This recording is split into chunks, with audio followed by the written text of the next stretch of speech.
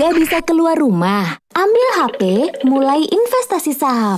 Download iPod, buka rekeningnya full online. Yang masih newbie, diajarin sampai jago. Mau beli, jual, cek hasil, semuanya gampang. Nah, sekarang mimpinya udah mulai kelihatan kan? Biar nggak repot, pakai iPod.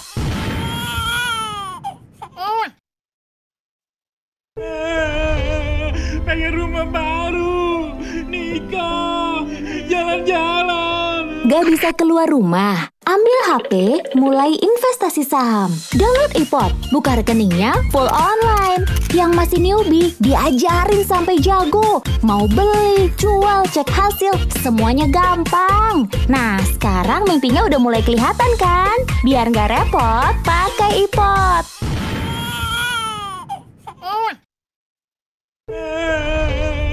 Pengen rumah baru, nikah, jalan-jalan. Gak bisa keluar rumah? Ambil HP, mulai investasi saham. Download iPod, buka rekeningnya full online. Yang masih newbie, diajarin sampai jago. Mau beli, jual, cek hasil, semuanya gampang. Nah, sekarang mimpinya udah mulai kelihatan kan? Biar nggak repot, pakai iPod.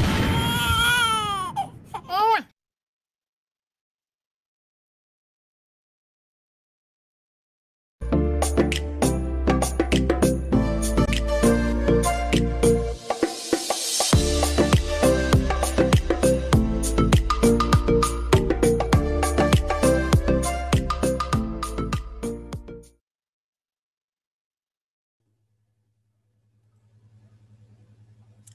Halo, selamat sore Sobat Ipot di mana pun kamu berada.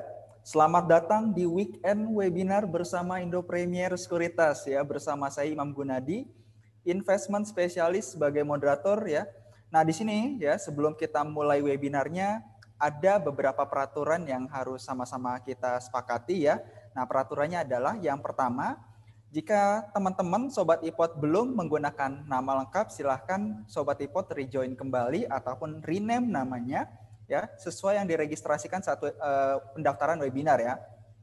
Kemudian yang kedua ya, kemudian yang kedua silakan nanti kalau misalkan kita masuk ke sesi tanya jawab, silakan Sobat Ipot tanyakan melalui kolom Q&A ya. Jadi bukan melalui kolom chatnya. Jadi kolom chat ini hanya kita gunakan untuk interaksi saja dengan narasumber sore hari ini ya.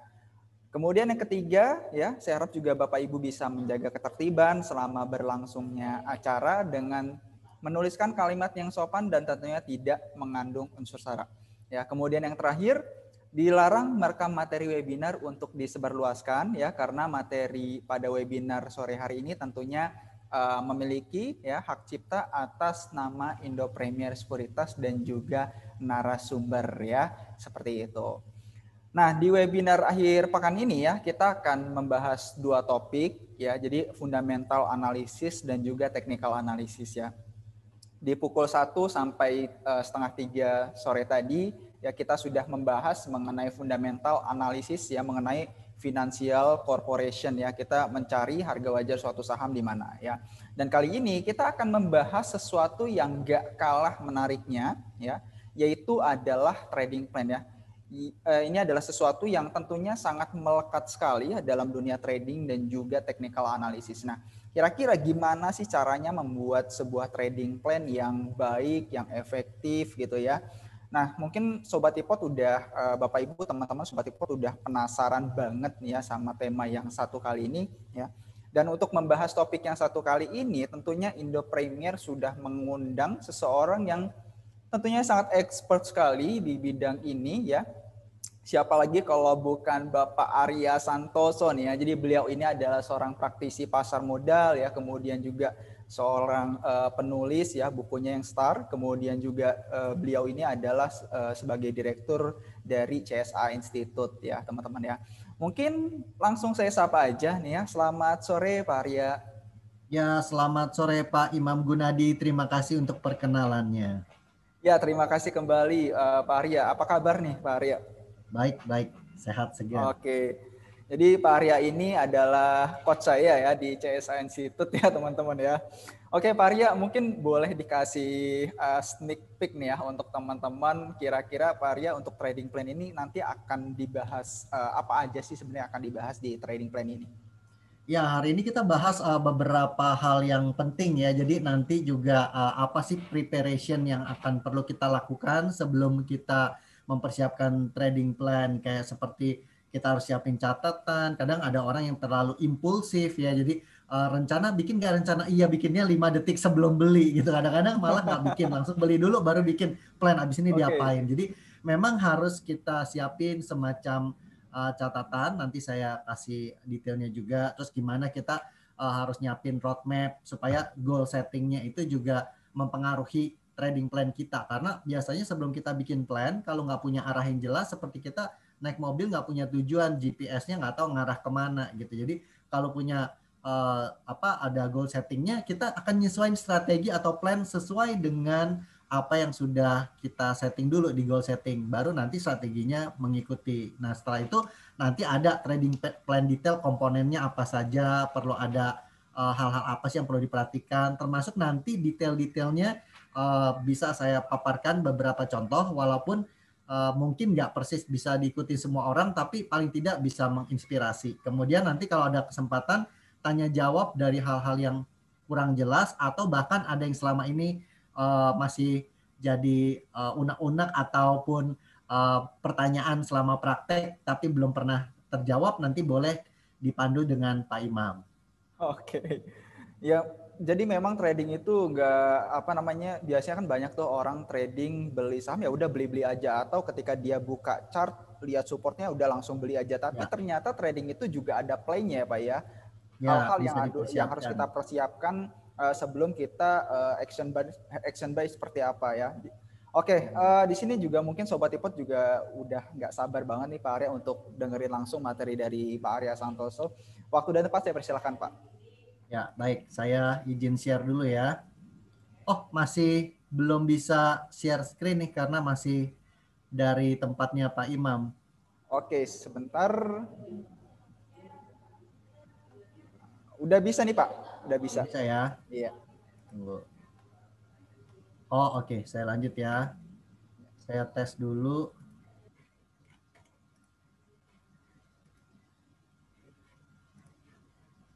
Coba dites dulu apa udah bisa kelihatan? Sudah terlihat, Pak. Ya, baik. Selamat sore, selamat bergabung untuk kawan-kawan semua, sahabat iPod. Hari ini kita akan ber kisah tentang trading plan ya satu sharing session yang bermanfaat sekali. Pertama-tama saya ucapkan terima kasih banyak untuk Indo Premier Sekuritas yang sudah menyediakan kesempatan sehingga kita hari ini bisa kumpul bareng di sini untuk membahas materi ini. Dan uh, saat ini saya perkenalkan diri dulu nama saya Arya Santoso di 21 November tahun 2020. Hari ini kita akan juga memperhatikan bagaimana seorang yang memang memperdagangkan saham dalam konteksnya uh, hari ini kan di pasar modal Indonesia ya. Jadi uh, kadang orang berpikir apa sih yang disebut uh, trader atau uh, memperdagangkan saham gitu ya. Nah, sebenarnya kita punya suatu konsep bahwa bagaimana kita bisa memperdagangkan satu instrumen keuangan dalam konteks uh, ini adalah kepemilikan dari sebuah perusahaan ya perusahaan terbuka tentunya.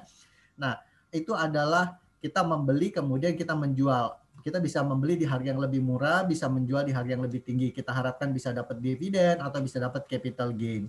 Nah, oleh karena itu yang sangat berpengaruh biasanya dalam melakukan hal ini tentunya bukan cuma sekedar logika aja karena ada uh, hal yang kita pikirkan secara logik terus tapi kenapa kok ternyata ada juga di market kemudian tidak se uh, rasional hal-hal rasional yang kita pelajari ada hal-hal yang kenapa kok ada yang saham yang murah tapi uh, menaik atau malah justru yang mahal itu yang uh, makin mahal ya gitu. Nah, jadi uh, akhirnya berpengaruh ke psikologis juga. Jadi antara pikiran sama perasaan manusia itu berkecamuk dan mempengaruhi pergerakan harga di market. Yang kita inginkan adalah gimana supaya kita bisa trading lebih baik, supaya kehidupan kita juga lebih baik, baik dari taraf uh, ekonominya juga dari sisi kita pada saat melakukan, mempersiapkan, merasakan apa yang kita lakukan itu juga lebih baik. Karena ada yang gara-gara tradingnya nggak benar, akhirnya kehidupannya juga kacau ya, feel bad, ya kemudian jadi nggak mood, ya terus jadi nggak ceria, misalnya nggak bahagia.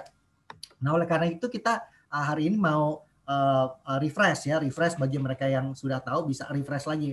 Uh, apa itu persiapan trading plan? Bagi yang belum menguasai bisa siapin catatannya untuk kita sama-sama memperhatikan apa sih yang harus kita uh, perhatikan dalam mempersiapkan trading plan. Nah, sebelum ngomong trading plan, ini nih rencana kita hari ini. Hari ini kita akan persiapkan beberapa poin.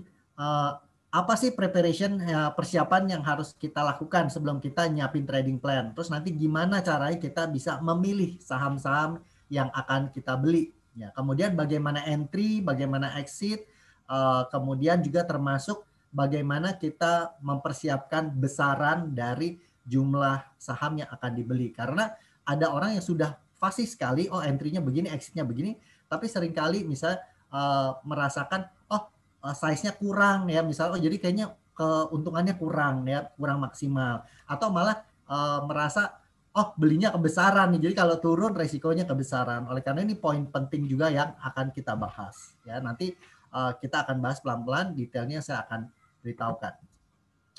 Nah, hal yang paling penting sekali nomor satu adalah yang sering kali dilupakan oleh para pelaku di pasar modal sebagai trader ya konsepnya adalah kalau trader itu adalah mereka yang melakukan pembelian dan penjualan. Ada yang bilang oh kalau investor itu tidak bisa disebut trader karena uh, dia beli nggak jual-jual gitu. Padahal sebenarnya menurut saya uh, seorang investor itu juga ada waktunya menjual ya. Ada yang uh, katakan bahwa itu periode waktunya aja yang mungkin lebih panjang ya. Tetapi selama dia membeli kemudian menjual berarti dia memperdagangkan. Oleh karena itu bagi mereka yang memperdagangkan di berbagai bidang bisnis ya, baik itu di saham ataupun di bisnis lainnya, itu selalu mempersiapkan sebuah catatan. Ini penting sekali bahwa apa yang harus dipersiapkan dalam catatan itu termasuk mencatatkan uh, perjalanan. Jadi oh tadinya kita mau tahu kita udah lebih baik atau belum itu tidak bisa dilihat dengan jelas atau dipelajari dengan jelas.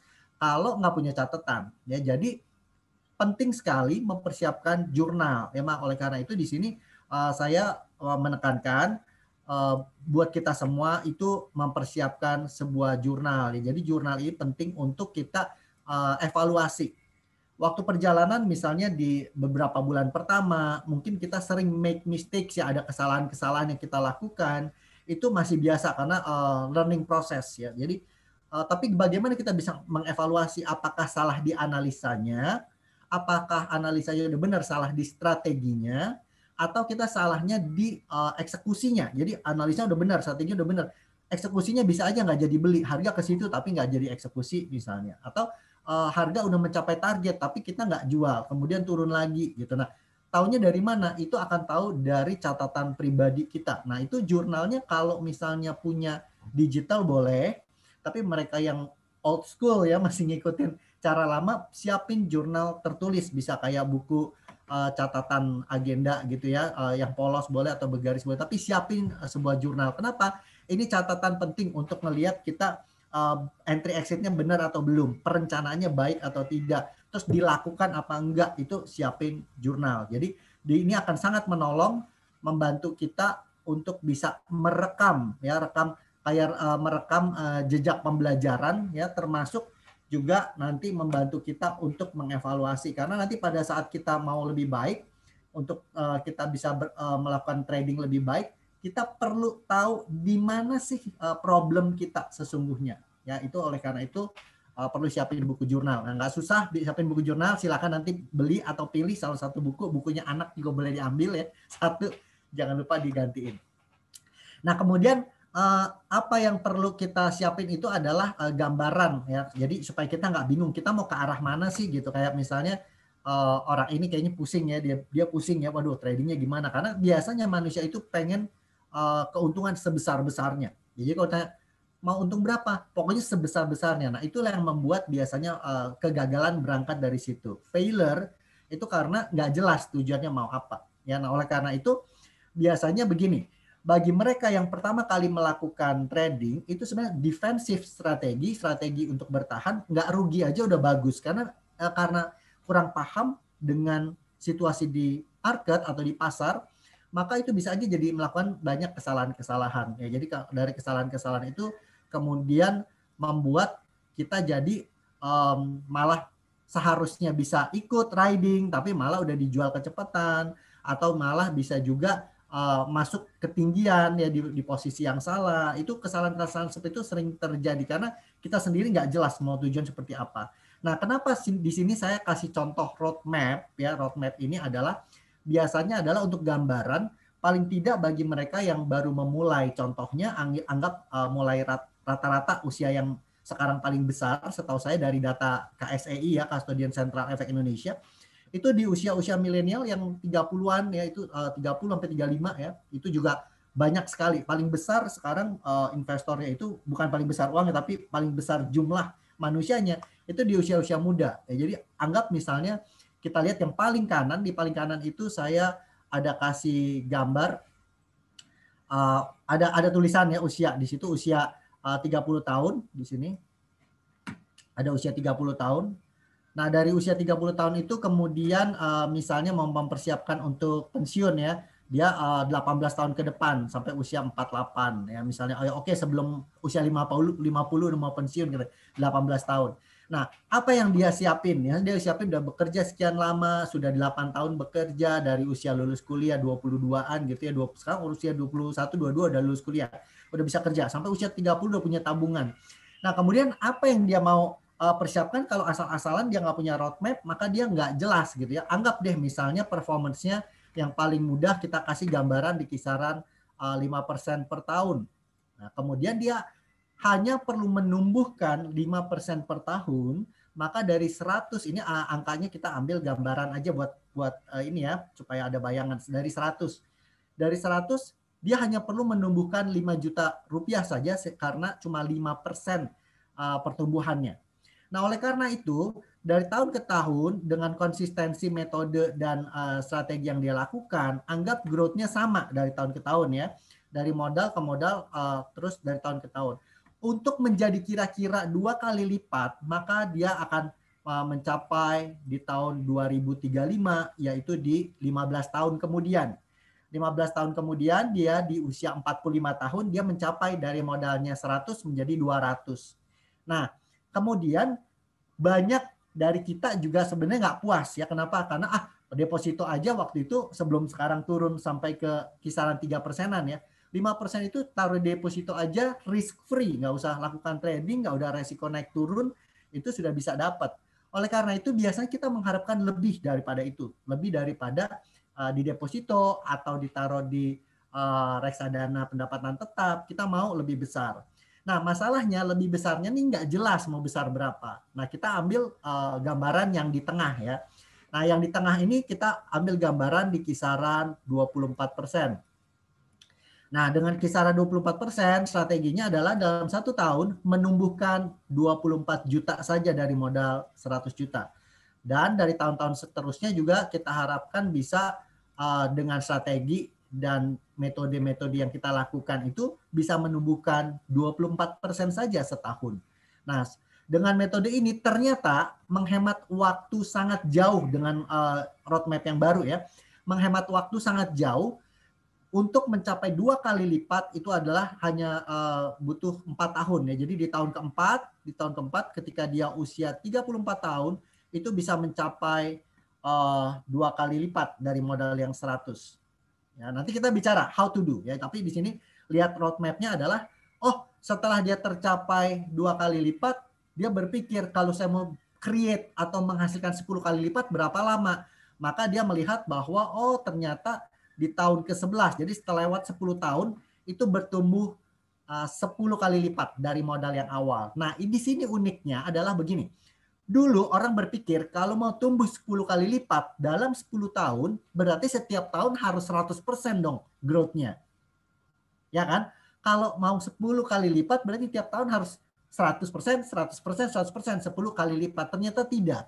Hanya dengan pertumbuhan 24% itu di compounding seperti ini, maka dia bisa persiapkan dana untuk pensiunnya dari 100 menjadi 1 miliar itu hanya dalam waktu 10 tahun di tahun ke-11 tercapai ya. Nah, oleh karena itu di sini akan menjadi suatu hal yang menarik gimana kalau diperbesar lagi targetnya.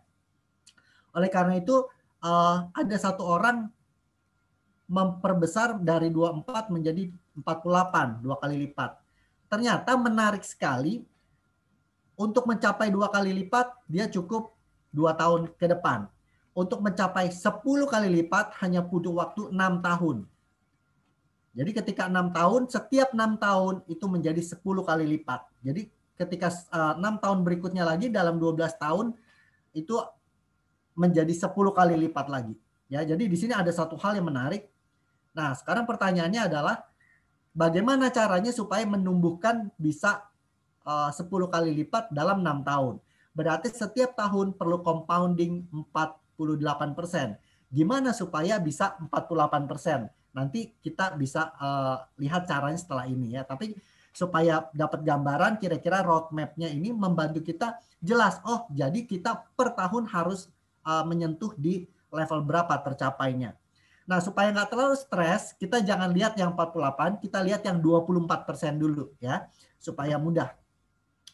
Nah dari goal setting, goal setting sekarang ya tergantung sih orang kan agresifnya lain-lain ya. Ada yang mau berapa. Kalau Anda masih setuju, kita ambil contohnya dulu ya. Sekarang kita pakai contoh yang 24% supaya sama. Ada yang masih nggak terlalu berani ambil di 24, ada yang mau di 5% silakan. Ada yang agresif sekali mau 48% atau lebih silakan. Tapi saya ambil contoh yearly target itu di 24. Ya, jadi sebelum kita lakukan trading plan, ini adalah preparation yang kita harus lakukan Berarti yearly target yang Anda uh, siapkan adalah di 24 contohnya ya, di 24. Nah, untuk yearly target 24%, berarti Anda perlu monthly target atau bulanan ya, bulanan itu di 2%, betul ya? Karena kita ngomong compoundingnya tahunan bukan bulanan. Jadi per, per bulan Anda bagi 12 saja. Dengan bagi 12, maka per bulan itu Anda hanya perlu cari 2% saja.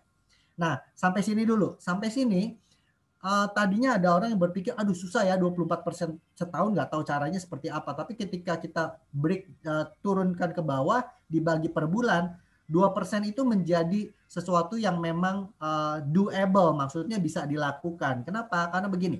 Di bursa saham pergerakannya apalagi lagi bullish ya, itu gerakan yang uh, 2% itu nggak sulit karena ada yang naik 5%, ada yang naik 10%, ada yang naik 25% itu uh, beragam ya.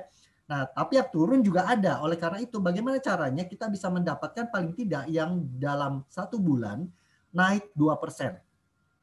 Sekarang sudah feel better ya, nggak maksudnya nggak nggak kayak aduh gimana tuh gitu. 2% sebulan itu masih sesuatu hal yang masih uh, bisa dilakukan dengan nggak terlalu stres ya, jadi masih mungkin dilakukan. Nah, gimana kalau marketnya nggak bagus? Kalau marketnya nggak bagus, jangan maksa. Ya, jadi kita bisa lakukan uh, mengejar ketinggalan itu di uh, kondisi bulan-bulan yang baik ya. Ketika bullish, uh, seperti musim hujan, musim kemarau, tahu kapan gas, kapan ngerem. Ya, jadi kalau lagi bagus ya boleh agak agresif. Ketika uh, lagi kurang bagus ya kita jangan terlalu agresif. Nah, oleh karena itu bagi mereka yang agresif kayak contohnya tadi misalnya dia pilih 48% setahun Berarti di bulanan aja cuma perlu mengejar sekitar 4% per uh, bulan. Atau diturunkan ke weekly ya. Ke weekly berarti dibagi 4 lagi nih. Berarti kalau yang 2% itu cuma perlu nyari 0,5 ya, 0,5 persen. 0,5 persen saja per minggu. Ya, jadi kalau yang, oh dia ada yang mau 4 persen sebulan, berarti seminggu cuma cari satu persen saja dari total portfolionya ya. Jadi 100 dia cuma perlu cari 500 ribu. Jadi nggak usah buru-buru, hati-hati aja ketika uh, ada upside yang bagus bisa ikut ya. Jadi di sini uh, saya katakan bahwa uh, tujuan Anda itu menentukan bagaimana mempersiapkan strategi. Ya, jadi kalau tujuannya kita cuma mau berangkat ke Bandung sama kita mau berangkat ke Bali, tentu beda metodenya. Uh, alat transportasinya juga beda. Mencapainya berapa cepat itu tentu akan menyebabkan kita memilih kendaraan juga yang berbeda. Ya, oleh karena itu penting sekali di buku jurnal Anda Anda siapkan uh, goal settingnya. Mau mencapai berapa persen per tahun berarti diturunkan ke bawah uh, bulanannya berapa, uh, diturunkan ke bawah lagi mingguannya berapa. Nah ini bukan berarti kalau uh, mingguan setengah persen artinya Anda harus trade setiap minggu tidak, tapi Anda bisa pantau yang kira-kira ada upside uh, dalam sebulan mungkin saja bergerak dua persen misalnya. Itu itu sudah mewakili. Tapi kalau ada yang begini, oh saya mau tradingnya cuma setahun sekali ya. Kalau mau setahun sekali ya cari yang ada upside 24% setahun seperti itu ya. Tapi di sini kita uh, uh, setahu saya sih di sini kebanyakan yang trade cukup aktif ya, melakukan perdagangan cukup aktif. Oleh karena itu kita akan lihat ke slide berikut.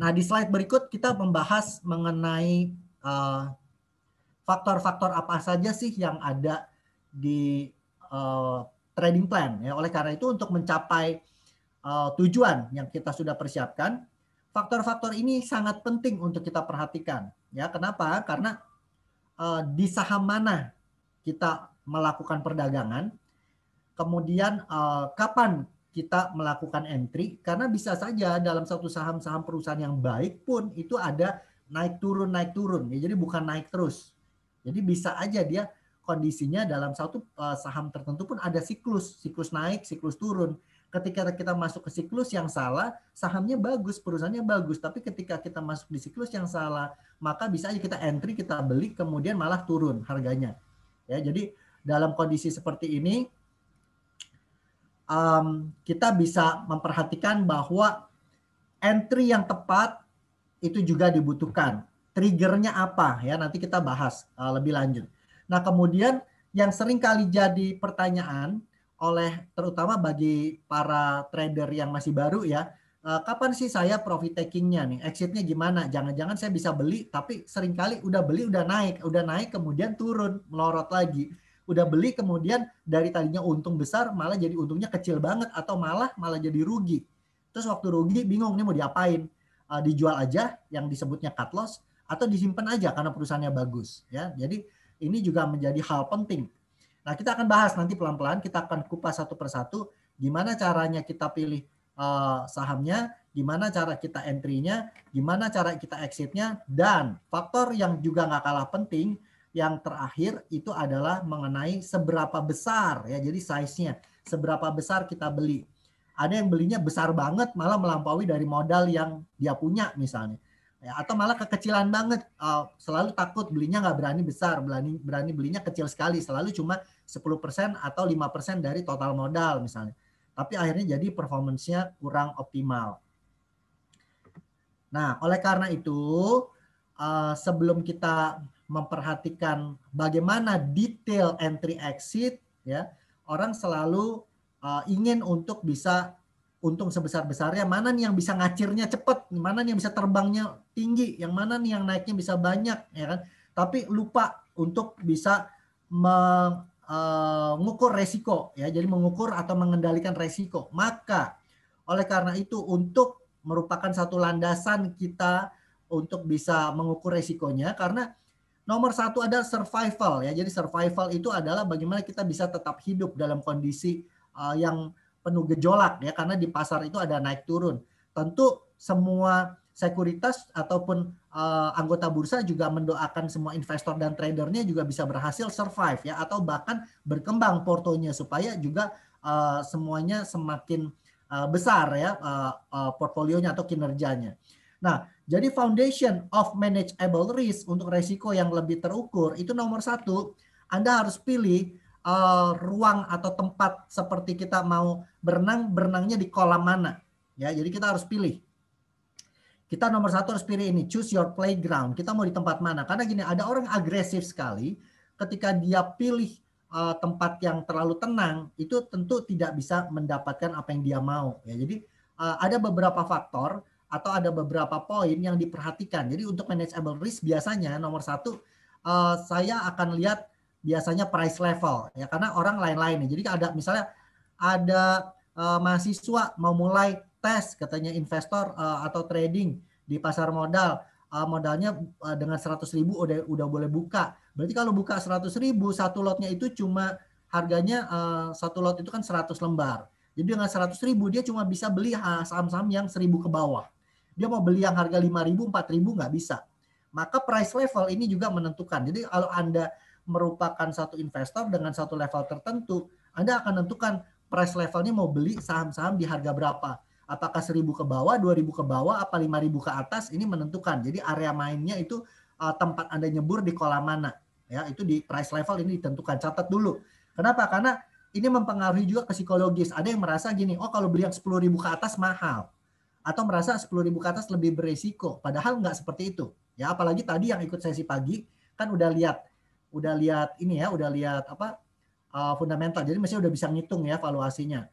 Perusahaan-perusahaan yang bagus, yang harganya murah, itu bukan murah secara nominal ya. Jadi bisa aja yang harga 10.000 sebenarnya lebih murah dari harga yang 1.000. Oleh karena itu price level ini mempengaruhi psikologi.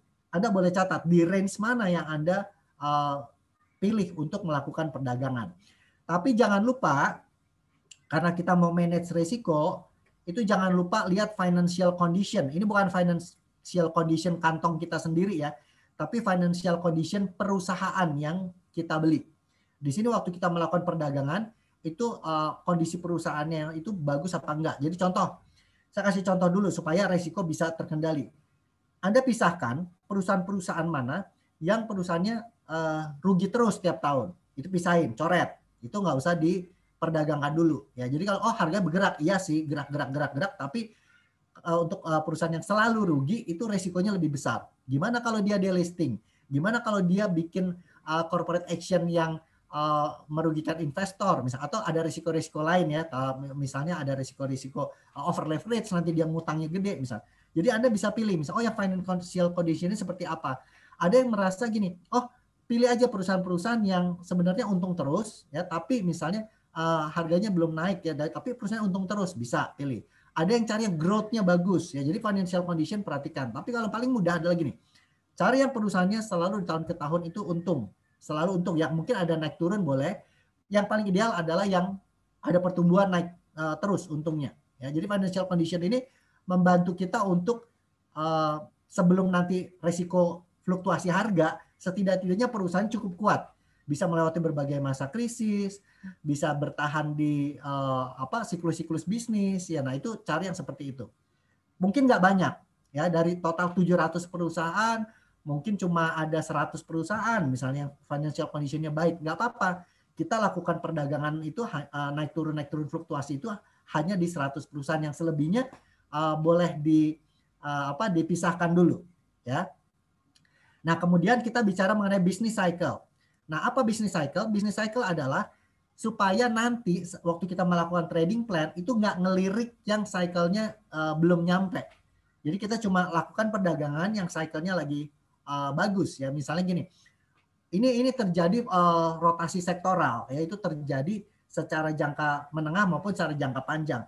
Seperti contohnya misalnya lima tahun yang lalu properti booming bagus, kemudian uh, agak agak uh, melemah ya permintaan sehingga harga sahamnya juga uh, turun ya. Nah, nah, itu kalau kita paksakan untuk trade di tempat itu bisa, tapi uh, risiko lebih besar ya supaya manageable risk. Kita cari siklus yang sedang bagus ya. Jadi lagi naik, siklusnya uh, cenderung bertahan atau naik, itu yang kita pilih.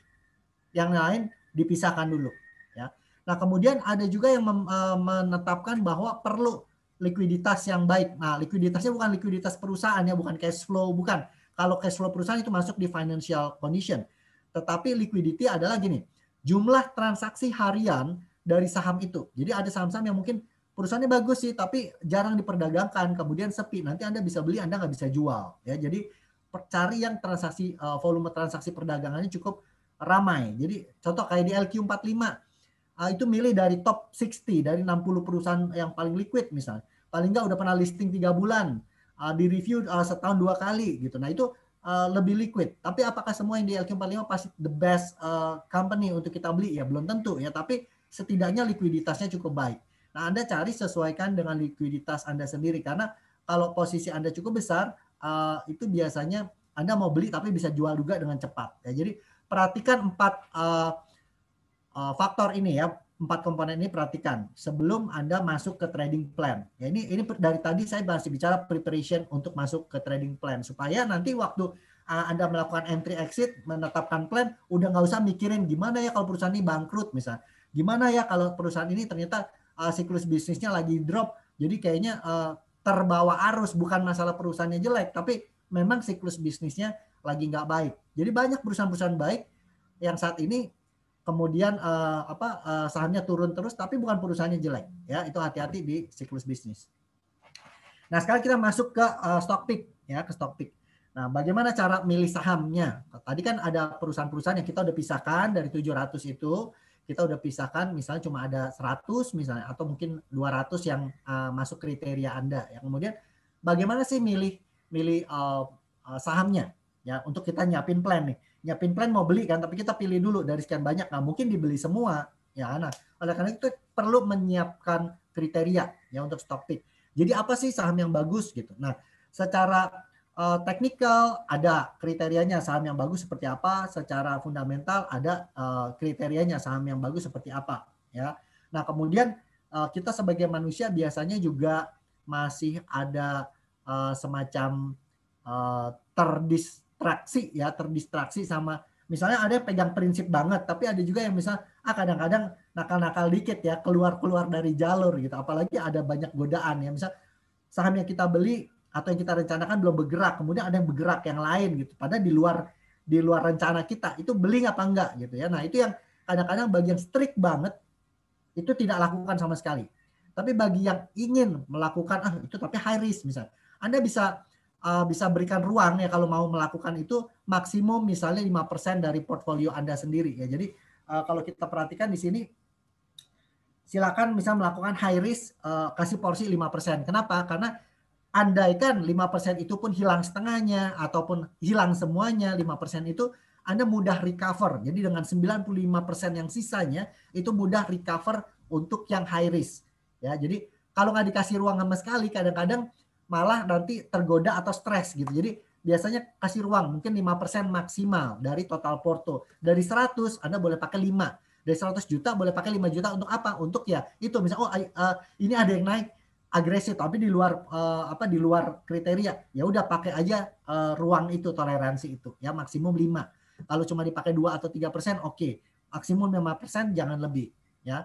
Nah, kemudian uh, kalau untuk hal-hal yang moderate ya misalnya di sini oh kalau yang bagus banget uh, masuk kriteria Anda bisa masuk misalnya sampai maksimal 50% dari porto boleh. Kenapa nggak di full? Karena biasanya ada ruang untuk beli yang lain atau siapin cash untuk uh, bisa dapat kesempatan ketika saham saham-saham pilihan Anda masuk ke kriteria tertentu ya yang sudah Anda siapkan. Nah, gimana caranya? Jadi gini. Contoh di di fundamental reason ya. Jadi ini kita memang ngomong uh, nanti bobotnya saya akan banyak lebih bicara uh, teknikal tapi contohnya kalau di fundamental itu ada kriterianya yang murah tuh seperti apa ya jadi untuk yang murah untuk saham-saham yang murah itu biasanya uh, mereka harus ada margin of safety oh masuk ke level discount bagaimana valuasinya cari di yang uh, pelajaran fundamental ya jadi kalau udah masuk kriteria kemudian um, dia ada discountnya baru masuk. Masuknya gimana? Nanti masuknya bisa bertahap ya. Tapi itu ruangnya kita bisa pakai yang moderate masuk masuk ke kriteria itu uh, biasanya dipakai di kisaran 20%. Jadi Anda bisa pilih beberapa, bisa bisa pilih misalnya tiga saham, empat saham gitu ya. Paling nggak maksimum uh, 20%. Kalau mau dibagi lebih rendah dari 20% boleh ya, tapi jangan full power ya khususnya bagi mereka yang portonya besar.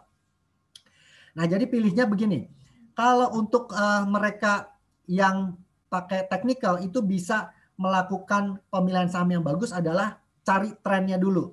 Identifikasi tren, cari yang trennya sedang tren naik. Berarti menunjukkan bahwa dia punya potensi upside yang bagus karena trennya lagi naik. Kalau turun pun biasa turun sementara. Jadi mereka yang tahu mengidentifikasi tren, ketika trennya sedang naik seperti ini ya. Nah, ini trennya sedang naik. Tapi walaupun naik dia ada naik turun naik turunnya. Ya, ada naik turun naik turunnya salah-salah nih misalnya belinya di atas ya, wow di atas di sini beli. Ketika di bawah turun sementara itu nggak masalah, kan tadi juga udah manageable risk, beli perusahaan yang bagus. Nah terus trennya lagi naik, nanti dia akan membentuk puncak yang lebih tinggi.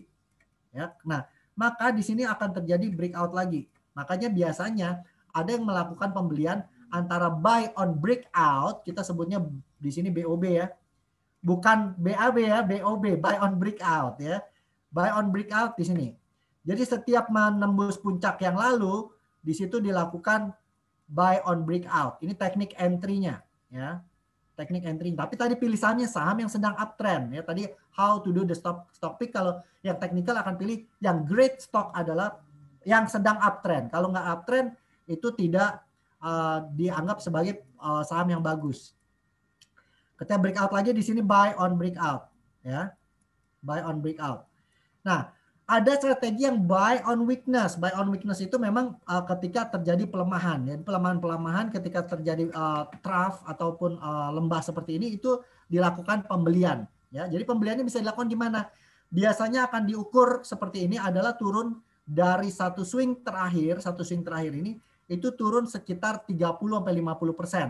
Ya, jadi ketika untuk terjadi pelemahan sementara itu 30 sampai 50 persen. Jadi misal satu swing terakhir uh, dari harga 1000 misalnya ya, naik ke harga 2000. Nah, berarti kalau dari 1000 ke 2000 kita bisa lihat sepertiganya dari 1300. Berarti dia 2000 uh, diskon menjadi 1700 misalnya. Oh, sorry, uh, diskon 30% uh, berarti potong 600. Jadi uh, 1400 ya. 1400. Nah, itu bisa di kisaran 1400. Itu bisa dilakukan pembelian. Nah, area-area ini sebenarnya Anda perlu belajar teknik analisisnya ya perlu belajar teknik analisisnya. Tapi untuk kita siapin entry strategi nomor satu adalah kita melihatnya trennya dulu. Identifikasi tren hanya pilih saham-saham yang uptrend. Yang tidak uptrend ataupun yang downtrend itu pisahin dulu. Ya pilih yang uptrend saja. Ya itu untuk uh, supaya uh, kita anggap ini yang bagus-bagus itu harus teknikal seperti itu ya. Nah teknik entry-nya seperti tadi bisa buy on breakout bisa juga buy on weakness. Ya nanti bagaimana exitnya kita akan lihat setelah ini. Tapi entry-nya semoga bisa dipahami uh, Anda bisa pilih cara dua cara itu ya. Jadi bisa buy on breakout bisa buy on weakness. Nah bagi mereka yang pakai fundamental saya rasa di sini juga ada beberapa yang masih pakai fundamental ya atau kombinasi dari keduanya. Mereka yang pakai fundamental itu biasanya punya strategi tersendiri. Ya bisa juga mereka pakai strategi tadi udah pilih ya sahamnya saham-saham yang bagus perusahaannya bagus Nah, biasanya mereka memilih pada saat murah. Terlepas dari sedang downtrend atau uptrend itu nggak masalah. Tapi salah satu cara terbaik untuk mereka yang fundamental itu bisa pakai cost averaging. Jadi caranya setiap bulan sisihkan dana, ya. Jadi misal Anda ada nih yang punya income, sisihkan dana untuk investasi.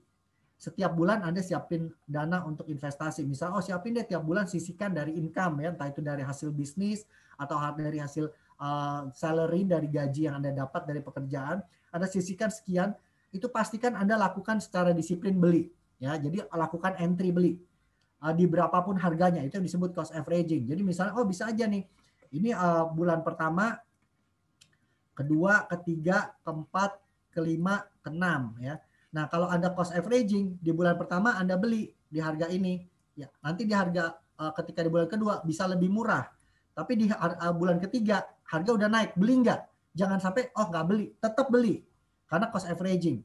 Anyway, ketika naik turun naik turun seperti ini setiap bulan Anda beli, naik ya beli, turun ya beli, tapi kalau turun uh, dapat harga lebih bagus. Kalau di total rata-rata harga Anda rata-ratanya lebih kecil dibanding harga market ya karena kalau pakai moving average ataupun dihitung secara uh, rata-rata pasti lebih uh, kecil. Kenapa? Karena harga sekarang di sini maka harga rata-rata Anda karena beli beberapa kali di sini 1 2 3 4 5 6 6 kali tapi di rata-rata uh, kisarannya berarti di sini dengan jumlah besar yang sama. Ya ada yang di bawah, ada yang di atas tapi uh, pasti di bawah harga market. Kecuali market sedang downtrend, itu ceritanya lain. Anda beli terus maka harga Anda pasti di atas uh, harga market. Makanya jangan beli perusahaan atau saham-saham yang sedang downtrend, beli yang sedang uptrend, yang sedang upside itu sudah membantu Anda bisa memilih uh, resiko secara manageable resiko ya. Itu cara seperti itu. Nah, kemudian dari kondisi seperti ini uh, yang jadi pertanyaan uh, banyak orang kemudian adalah uh, gimana melakukan exit ya. Nah, uh, saya lebih suka menggambarkan tadi uh, dari uptrend ya itu kemudian uh, apa entry-nya bisa bertahap ya. Uh, bisa juga pakai indikator misalnya ya kalau uh, bagi yang teknikal ya. Bagi yang teknikal ada indikator yang membantu Anda untuk bisa uh, membeli ya. Jadi bisa aja Anda misal oh saya maunya beli kriterianya selalu kalau indikatornya terjadi uh, golden cross ya. Ketika golden cross buy. uh, nanti kalau terjadi uh, breakout, Anda bisa tambah lagi buy on breakout, average up, ya. Nah, jadi itu uh, membantu Anda untuk memilih dengan cepat, ya. Nah, kemudian exitnya gimana? Nah, ini ada empat jenis uh, strategi exit, ya. Sudah saya susun supaya dari kita mulai beli sampai ke kita uh, exit, ya. Nah, ini strategi exit adalah yang mana yang terbaik? Yang terbaik itu adalah yang cocok dengan timingnya. Maksudnya cocok dengan timingnya begini. Ketika kita pertama kali beli, ya itu pasti kita akan siapin exit uh, potensial itu ada empat empatnya ya. Mungkin salah satu akan terjadi, tapi kita mungkin uh, mungkin aja uh, tidak tidak menebak dengan tepat yang mana yang akan terjadi karena tergantung kondisi market. Analisisnya udah oke, okay, strategi kita udah siapin, tetapi ketika kita beli di timing yang tadi cocok buy on breakout buy misalnya. Nah kemudian Ketika buy yang kita set itu adalah yang nomor satu. Exit itu harus udah siap stopnya di mana, stop lossnya. Ya limit your loss. Jadi andaikan dia turun, turun di mana yang kemudian kita likuidasi.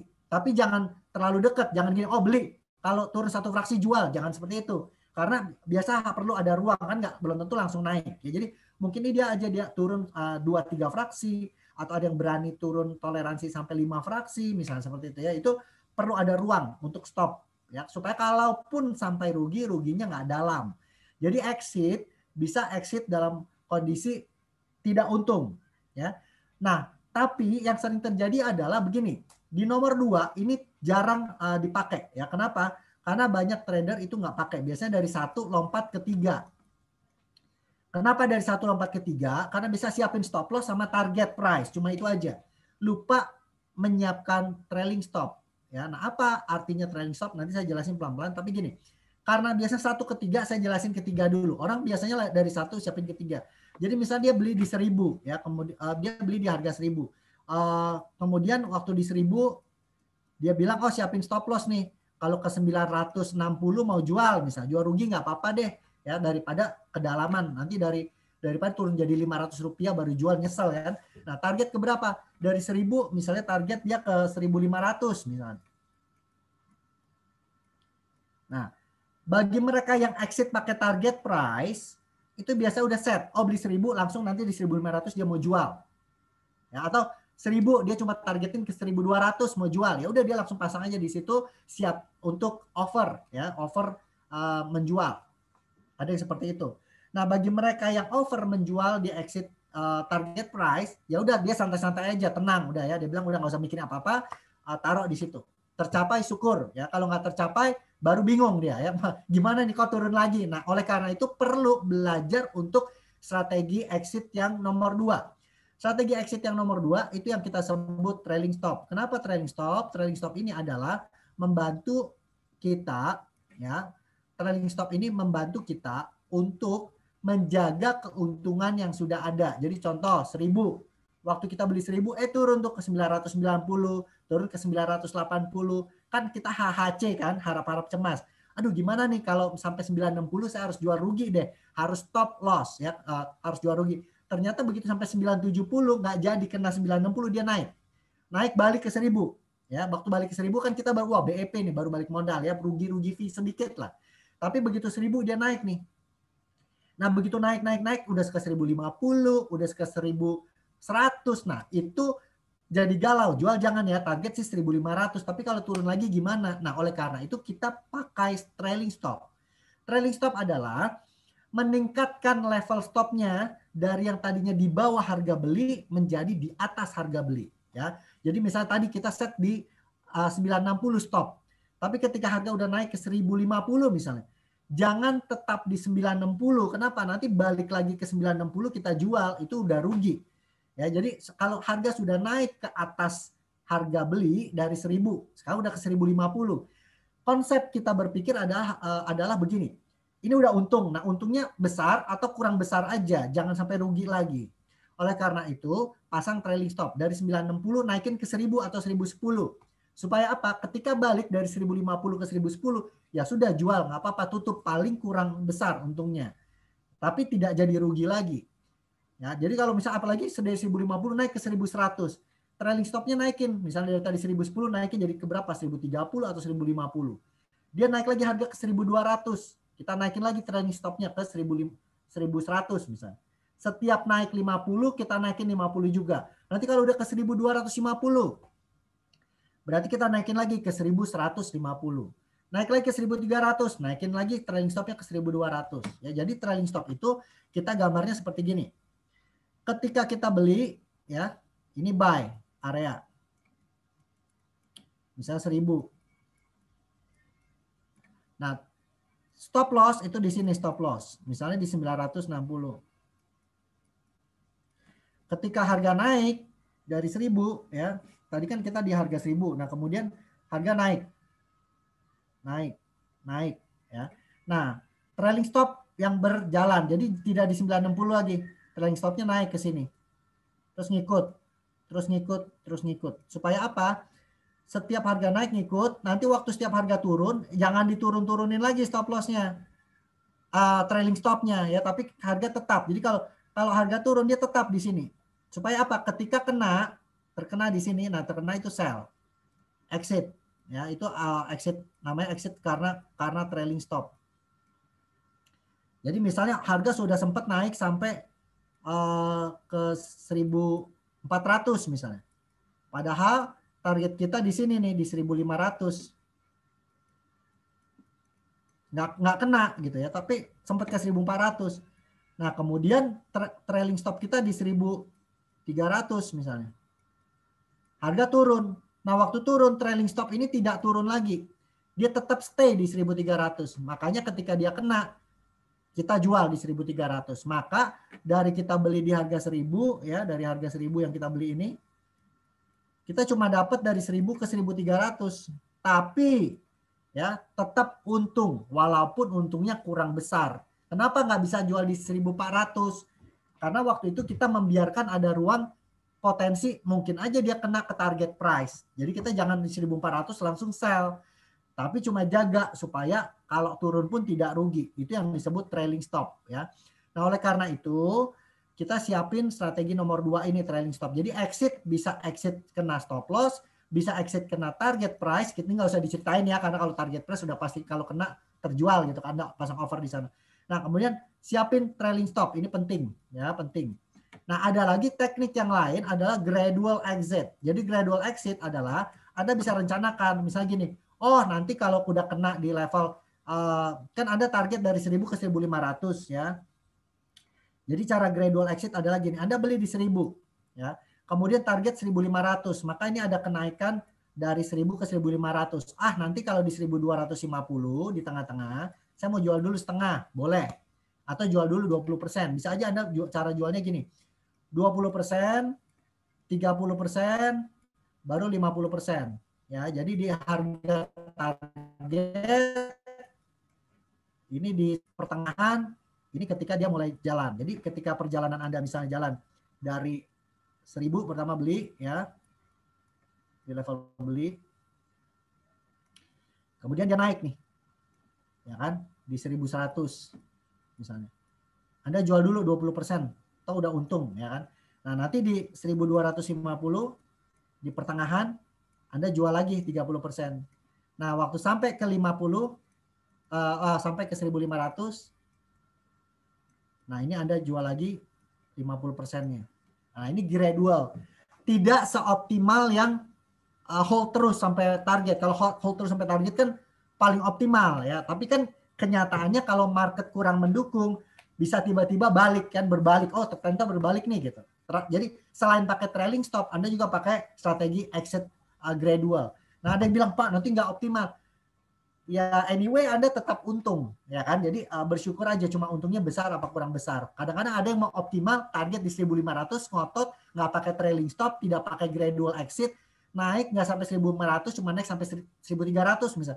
Terus balik turun didiemin turun lagi ke uh, modal 1000 didiemin turun lagi ke 960 didiemin uh, uh, tidak stop loss turun lagi ke 800 700 600 market bearish crash sampai ke 500 sampai ke 300 pun didiemin. Akhirnya dari tadinya udah untung malah jadi nggak untung ya. Oleh karena itu kenapa perlu kita strategi-strategi uh, exit yang uh, uh, di sini disampaikan ya. Jadi uh, anda boleh siapkan semuanya jadi punya senjata untuk bisa uh, mengikuti bagaimana uh, melakukan perdagangan di pasar modal ya. Jadi jangan sampai uh, mengalami hal-hal seperti waktu dulu kita masih waktu saya masih blow on ya waktu itu uh, kejadian tuh pasti semua orang pernah ngalamin.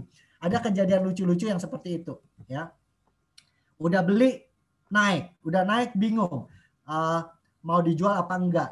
Uh, jangan-jangan nanti dia jadi turun kan. Tapi kalau kalau dijual nanti jangan-jangan naik gitu. Jadi kita pusing. Nah, tapi dengan nyiapin plan kita bisa dengan cukup yakin mengikuti perjalanan uh, di trading kita. Nah, kemudian uh, bagian yang juga nggak kalah penting adalah uh, position size. Ya, position size ini bagian yang selalu menjadi pertanyaan. Kalau beli beli berapa banyak? Ya, beli berapa banyak? Nah, terus uh, kalau misalnya kita mau jual, jual semua apa jual sebagian, ya itu juga menjadi pertanyaan. Nah, oleh karena itu, cara ngitung position size itu adalah selalu menghitungnya resiko dulu, ya. Jadi resiko dulu. Caranya gini, contoh, Anda Anda punya trigger buy itu misalnya uh, kita ngomong buy on breakout ya. Jadi ini kan kalau kita perhatikan dari puncak naik turun naik turunnya adalah seperti ini. Ini naik turun, naik turunnya ada swing high, swing low, retrace, swing high, swing low seperti ini. Tapi sebelum ini terjadi, enak banget kalau cuma bilang buy di bawah, sell di atas ya. Nanti kalau setiap ngayun buy, tiap uh, ini uh, naik sell, itu kan enak banget ngomong kayak gitu ya. Nah itu dunia indah sekali kalau bisa seperti itu. Nah kenyataannya di di praktek sehari-hari kan nggak seindah warna aslinya. Nah jadi uh, oleh karena itu untuk ngitung position size uh, kita ngambilnya uh, seperti ini. Misalnya harga bergerak naik turun naik turun. Ya, nah sekarang kondisi seperti ini supaya lebih mudah saya tambahin. Nah kondisi seperti ini naik turun naik turun. Nah kemudian uh, Anda berusaha untuk uh, cari tahu gimana caranya Anda mau beli di sini.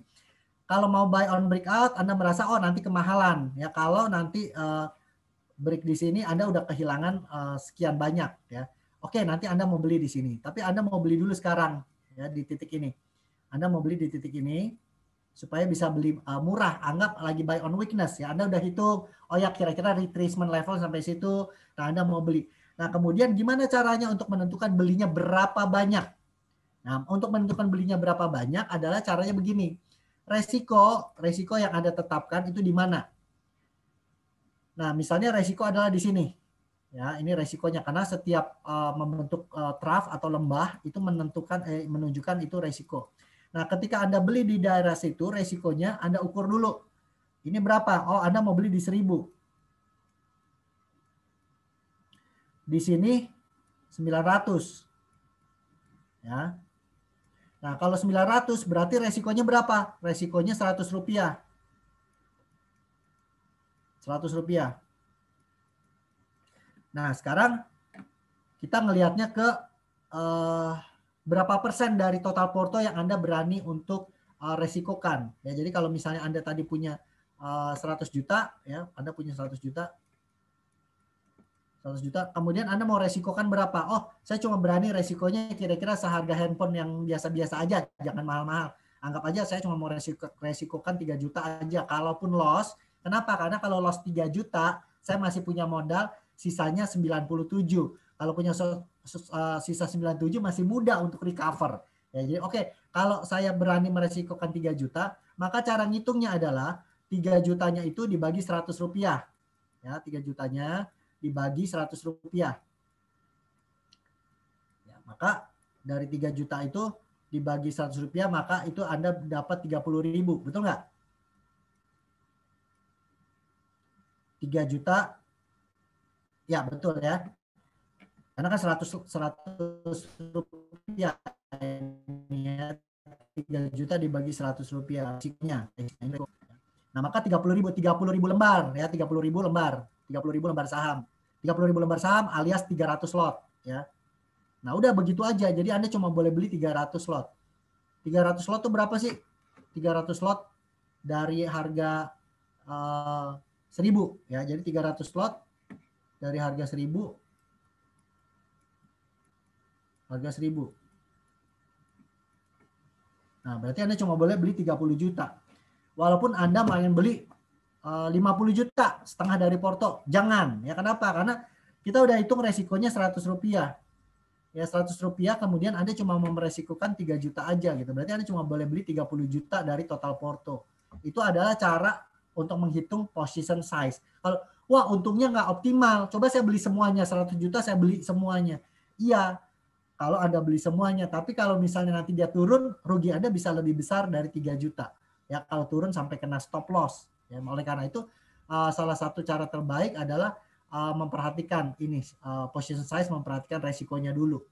Ya, tapi kalau misalnya nanti Anda anggap oh satu lagi buka posisi ketika buy on breakout di sini, anggap ini satu posisi baru. Nah, di jurnal Anda Anda bisa uh, anggap beli satu barang yang sama, sahamnya namanya boleh sama, tapi di, di, di other project ya. Jadi project A, project B itu di buku jurnal Anda pisahin. Project A. Jadi supaya nanti oh di sini uh, beli 300 lot yang ini. Yang ini beli 300 lot, project A ya. Nah, project B itu resikonya mungkin beda. Ketika Anda buy on breakout di sini, Anda kan resikonya ke traf yang ini. Ke traf yang bawah sini. Bentar. Nih di sini. Bukan yang di pertama ya. Jadi bukan yang di sini lagi. Tapi sekarang resikonya di sini. Nah, apakah size-nya sama atau nggak sama? Ini dihitung dulu ini berapa size-nya. Ya, seperti itu. Nah, mudah-mudahan cukup bisa uh, menjelaskan ya uh, faktor-faktor uh, apa aja di di apa sebagai di uh, trading ya. Kemudian uh, contoh-contohnya detailnya nanti uh, kita coba lihat ditanya jawab. Saya rasa uh, semoga udah cukup mewakili ya. Semoga udah cukup mewakili. Kita lihat ke tanya jawab karena di sesi yang lalu di bulan Agustus waktu kita bahas uh, mengenai psikologi trading akhirnya tanya jawabnya kurang kurang memuaskan. Oleh karena itu sekarang kita uh, masuk ke sesi tanya jawab. Di sini saya lihat udah banyak yang tanya juga supaya kita bisa uh, mewadahi tanya jawabnya dengan lebih baik ya. Oke. Terima kasih teman-teman semua. Uh, materinya saya stop dulu sampai di sini. Jadi supaya kita tidak terhambat dengan ketakutan yang ada dalam pikiran, tetapi kita bisa uh, dipimpin oleh satu mimpi yang kita inginkan di dalam hati kita ya jadi uh, saya stop dulu supaya kita bisa lakukan tanya jawab saya balikin Oke. dulu ke Mas Imam nih ini ya. ini langsung dita- dijawab atau chatnya atau saya dibacain atau gimana Oke Pak Arya, terima kasih atas penyampaian uh, materinya. Untuk pertanyaan akan saya bacakan ya Pak ya. Oke ya. Oke. Nah ini saya sudah uh, filter ya beberapa pertanyaan yang uh, saya harap ini bisa mewakili teman-teman yang lain ya. Oke, kita ke pertanyaan yang pertama, Pak Arya. Kita ke pertanyaan yang pertama, ini ada dari Ibu Ernawati di pukul 03.45. Ya. ya. Pak ingin bertanya, nah Bu Ernawati ini sepertinya dia sudah uh, apa namanya membuat trading plan, Pak. Jadi untuk uh, trading oh. plan ini dan dia sudah buat trading plan untuk averaging down, ya. Nah, misalkan eh, Bu Ernawati ini sudah entry nih Pak. Jadi dia melakukan ada tiga cicilan ya. Hmm. Cicilan atau pembelian yang pertama itu dilakukan dengan porsinya 20%. Kemudian untuk pembelian yang kedua itu 40% dan untuk pembelian yang ketiga itu 60% Pak. Nah, oh, totalnya nggak 100 ya? Oh, totalnya nggak 100 ya? Nggak tahu. Uh, ini Maksudnya dari. Maksudnya pakai leverage ya? Pakai utang uh, atau apa nih? Ya Pak, gimana Pak? Berarti pakai leverage ya atau pakai utang ya? Oh, saya kurang 20 waktu. tambah 40. Satu dan dua kan udah 60. Terus dia 60 lagi kelebihan 20 nih. Iya, mungkin salah ketik, Pak. Ya, ya udah nggak apa-apa. Terus tapi uh, setidaknya di sini dia tambah besar lah Pak ya porsinya Pak ya dari ya, 20, okay. 40 kemudian sisanya berapa gitu ya. Intinya terbalik ya. Tambah besar. Nah, ketika dia melakukan pembelian yang pertama, ternyata harga sahamnya itu malah naik nih, Pak. Ya. Hmm Nah, ketika dia eh, apa namanya sudah naik harga sahamnya, apakah porsi yang pertama tadi itu tetap digunakan seperti itu, ya, nambah besar seperti itu porsinya, atau harus mengubah porsi uh, porsi tersebut, Bu? Eh, Pak, uh, mungkin oh, boleh dijelaskan Oke, okay. saya saya nangkep nih pertanyaannya ya. Bu Ernawati. Terima kasih Pak Imam. Yang mungkin Jadi dijelaskan sedikit juga Pak untuk apa namanya kira-kira bagaimana uh, cara yang tepat untuk melakukan averaging up dan juga averaging down, Pak. Ya, jadi gini. Tadi kita udah melakukan ya stock picknya perusahaannya bagus, bagus ya. Kemudian kita lihat bahwa kondisi uh, perusahaannya finansial juga oke, okay, bagus itu semua sudah dilakukan. Nah, yang pertanyaan Bu Ernawati ini bagus sekali, terima kasih. Jadi saya lihat bahwa uh, Anda melakukan pembelian bertahap. Jadi ini bukan average down ya. Average down adalah biasa gini, beli kemudian uh, turun, beli lagi, turun, beli lagi karena melihat supaya dapat average-nya murah ya. Tapi kalau di sini saya perhatikan sudah disiapkan trading plan uh, dilakukan pembelian secara piramid ya. Jadi melakukan piramid. Jadi gini, dia mau beli udah siapin nih plan bahwa beli di 1980 misalnya 960 jadi belinya bertahap tapi ketika seribunya dapat dia langsung naik. Padahal dia udah disiapin nih bertahap misalnya 20, 30, 50 misalnya. Nah, kemudian tapi baru kena yang 20% terus naik. Nah, apa yang dilakukan? Anggarannya masih ada. Apakah itu di dia average up saja ketika itu naik atau gimana? Ya, nah itu pertanyaannya Bu Ernawati. Semoga saya tidak salah tangkap. Saya jelaskan itu ada dua strategi Bu. Jadi gini, Strategi pertama, ketika 20 persennya dapat, kan masih ada sisa anggaran yang 80 persen belum tercapai, belum dapat di harga yang bawah, karena ibu rencanakan ketika piramid di, di harga bawah dapat lebih besar, ya. Tapi ternyata tidak, dia baru kena 20 terus naik. Nah, strategi yang pertama adalah karena anggarannya udah ada, Anda boleh pakai setengah dari anggaran yang tadinya dapat itu untuk average up. Kenapa setengah? Karena begini, itu naik, tapi setelah naik apakah langsung naik terus atau nanti dia turun lagi ke target yang Anda mau. Kan nggak tahu. Ya, tadinya kan Anda pikir turun ke target terus uh, masuk ke level-level berikutnya yang Anda siapkan untuk beli. Tapi ini naik. Anda takut nggak dapat kan? Paling tidak setengahnya langsung uh, beli aja dulu average up. Setengahnya tunggu. Kalau tidak tidak uh, turun lagi, ya setidak-tidaknya uh, sebagian besar dari anggaran sudah masuk di situ. Kenapa saya katakan sebagian besar? Karena tadi Anda udah masuk 20 misalnya. Sisanya kan tinggal 80. Ketika setengah dari 80 kan 40. Berarti total-totalnya 20 tambah 40 itu udah 60. Udah sebagian besar dari anggaran udah masuk di situ. Sudah boleh cukup ikhlas untuk riding. Karena kalau jadi naik anyway itu untung. Ya. Nah itu cara strategi pertama. Strategi kedua, ketika Anda dapat 20% terus dia naik, Anda diamin aja. Jangan jangan di average up. Kenapa? Karena ketika merubah plan, itu Anda punya satu kebesaran hati untuk fleksibel uh, dan kemudian biasanya kalau yang belum terbiasa itu akan mengganggu secara psikologis. Jadi lebih baik ketika 20% dapat terus dia naik ya udah sesuai plan aja, stick to the plan. Sisanya yang nggak dapat, Anda pisahin anggarannya untuk di saham yang lain. Karena Anda mungkin nggak beli satu saham juga kan mungkin ada beberapa trading plan yang nyiapin tiga atau empat uh, saham misalnya. Anda pindahin ke ang anggarannya untuk yang lain. Jadi dapat sedikit nggak apa-apa uh, yang penting dapat dan ada profitnya. Anda bisa lakukan itu sekali, berarti Anda bisa ulang berkali-kali. Tapi kalau mau pakai strategi yang pertama, menurut saya itu juga bagus. Ya, jadi tidak terganggu secara psikologis. Nah, sisa anggarannya ke mana? Sisa anggarannya masukin ke plan yang lain. Karena di plan yang lain itu juga kan kadang-kadang gini. Anda udah siapin, terus dapat, dapat, dapat, dapat, eh ada peluang yang lain gitu, yang yang uh, mungkin nggak bisa karena keterbatasan dana. Anda pilih lima, padahal di, uh, cuma bisa beli untuk tiga saham, yang lain nggak. Nah, ini anggaran ini bisa dipakai sebagai dana taktis. Ya, jadi semoga menjawab pertanyaan Ibu. Uh, coba dites di dua strategi itu Anda lebih suka yang mana. Tapi kalau begitu kena 20%, terus dia naik, terus sisanya Anda belikan semuanya sekaligus ke sana, terus turun, Anda pasti ada goncangan kejiwaan itu biasanya.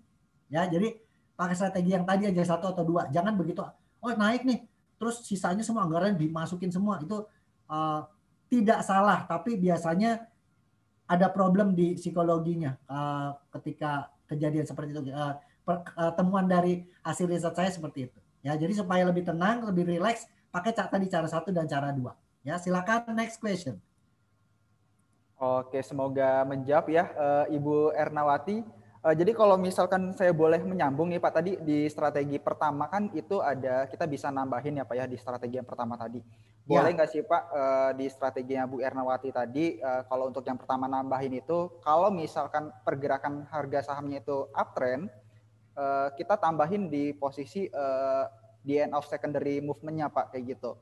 Ya, boleh, boleh. Jadi ketika analisis skill Anda sudah cukup baik, Anda tahu di mana titik-titik entry yang baik, itu boleh. Jadi anggarannya ya kayak tadi uh, di titik itu beli, kemudian nggak kena anggarannya, oh nanti deh di di uh, next uh, ketika bikin higher low lagi baru anda uh, ambil waktu retrace lagi boleh nambahin karena riding uh, saya nggak tahunya ini kan stylenya apa-apa swing trading sekali doang atau malah position trading yang bisa nambah terus gitu kan. Tapi yang penting anggaran harus selalu siap. Jangan dihabisin di satu titik apalagi karena emosional ya.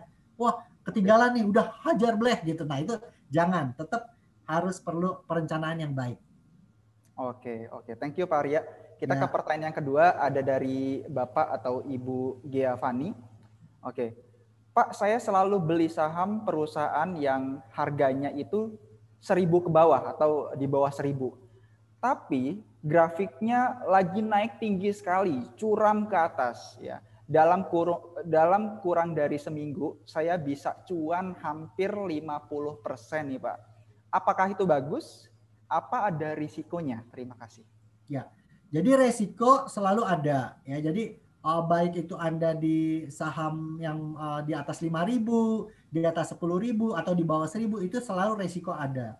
Oleh karena itu untuk manage able risk supaya risiko lebih terukur seperti yang tadi saya bilang, sebenarnya bukan harga 1000 atau harga 5000 sih yang menentukan. Kadang ada yang 5000 juga kemahalan atau 5000 kemurahan dibanding 1000 juga ada. Jadi bisa 1000 mahal gitu.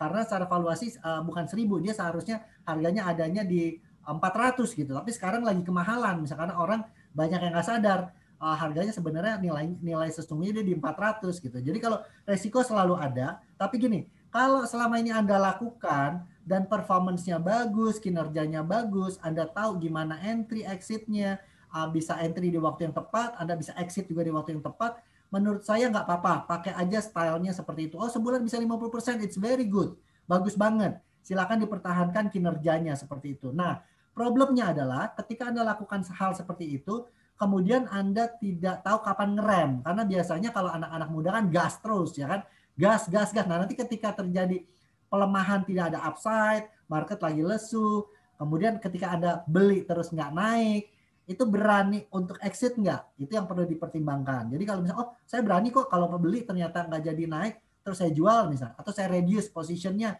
saya dari yang saya beli saya kurangi misalnya. Kalau bisa manage seperti itu entry exitnya uh, dan sudah direncanakan, nggak apa-apa ya tapi kalau ngomong resiko selalu ada resiko di saham yang di bawah seribu maupun di atas seribu selalu ada ya, jadi tapi ingat ya beli perusahaan-perusahaan yang bagus ya jadi perusahaan yang bagus yang dijualnya di harga di bawah seribu ada ya jadi uh, jangan beli perusahaan yang nggak jelas. Yang nggak jelas tuh maksudnya gini wah ini perusahaan udah udah rugi terus nih bertahun-tahun.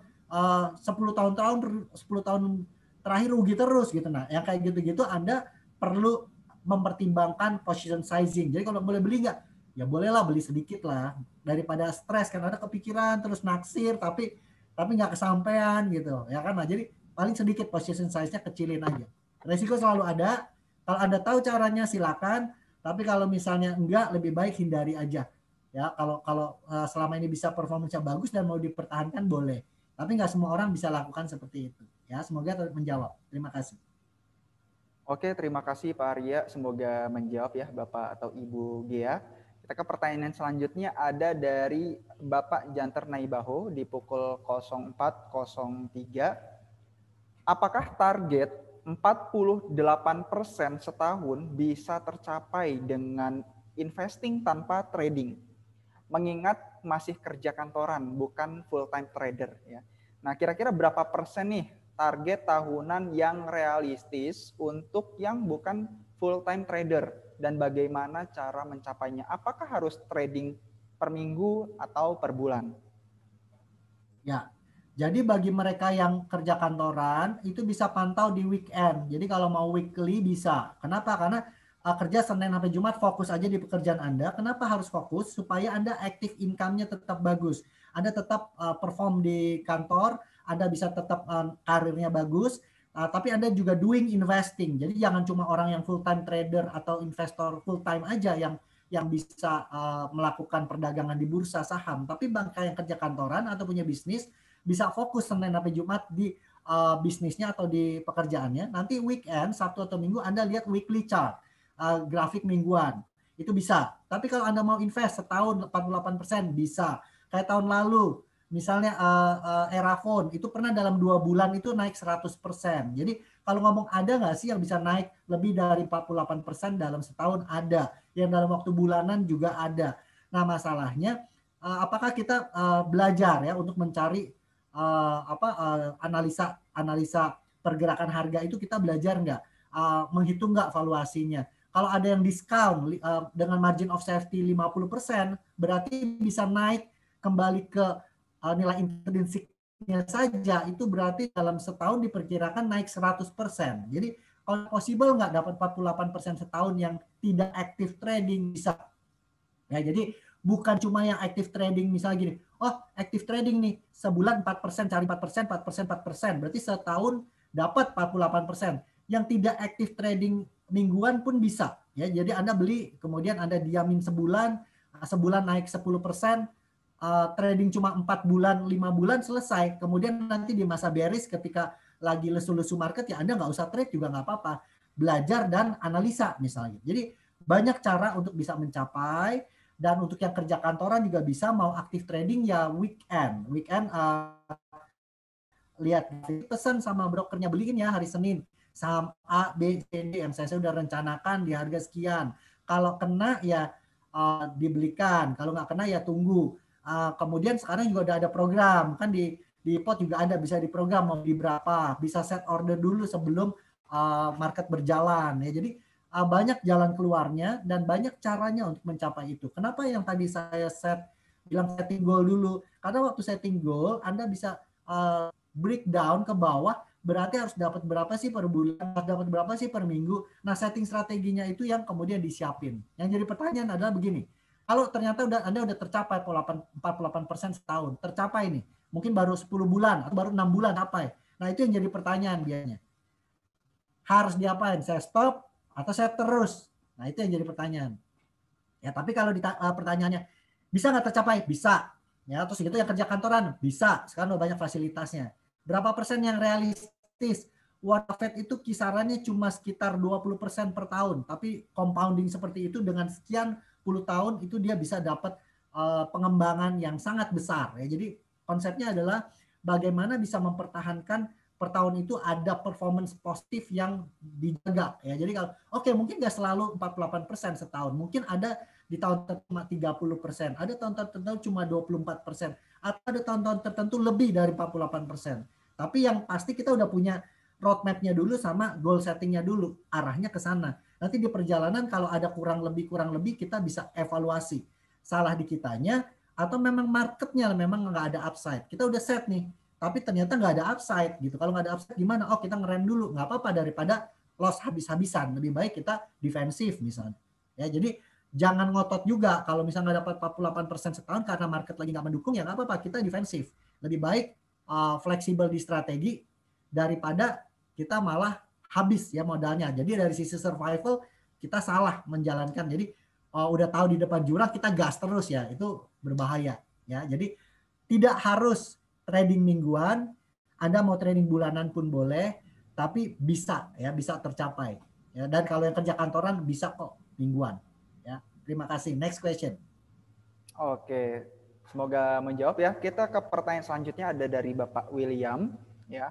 Nah, Pak William ini uh, menyinggung mengenai window dressing nih, Pak Aryani. Jadi, ya. jadi uh, menjelang ada momentum uh, akhir tahun ya, window dressing, bagaimana strategi terbaik sih Pak untuk melakukan rebalancing terhadap portofolio jika kalau misalkan uh, di portofolionya Pak William ini ada uh, apa namanya ada wedge atau ada bobot atau ada sebagian eh, saham-saham yang lagi nyangkut nih Pak untuk trading ya. play-nya gimana nih?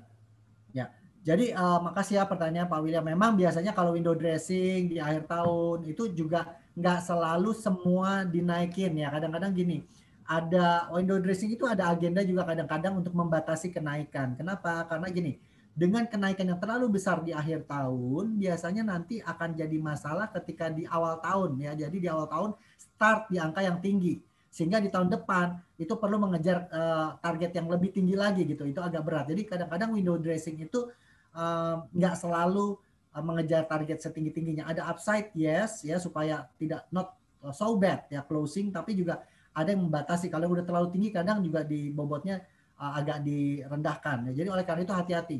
Nah, untuk rebalancing oleh karena itu uh, bisa lakukan buy on weakness. Jadi nanti di eh, bulan-bulan uh, ini kayak di November, kalau di pekan depan ada pelemahan, Anda bisa lakukan buy on weakness atau di di Desember Desember uh, masih uh, menjelang sebelum akhir misalnya di awal-awal uh, pekan uh, di Desember atau di pertengahan itu bisa uh, dilakukan pembelian untuk upside jangka pendek sampai ke akhir tahun.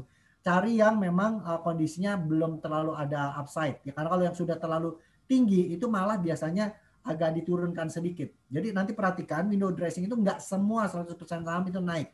Kalau performance yang udah agak uh, over malah kadang uh, ditahan juga. Ya, jadi hati-hati dan nggak selalu window dressing itu 100% setiap tahun terjadi.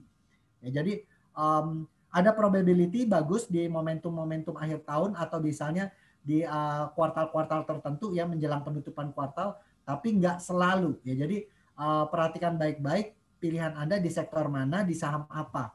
Nah kalau ada yang nyangkut, selama itu uh, bagus, perusahaan bagus, uh, dan masih ada prospek ke depan, Anda masih boleh uh, apa uh, pertahankan dulu ya. Jadi pertahankan dulu karena gini di di tahun 2020 ini banyak perusahaan-perusahaan yang bagus sebenarnya mampu melewati berbagai masa krisis tapi belum naik karena uh, orang belum berani ada capital inflow ke sektor-sektor tertentu. Tapi bukan berarti sektor itu selama-lamanya akan jelek ke depan prospeknya.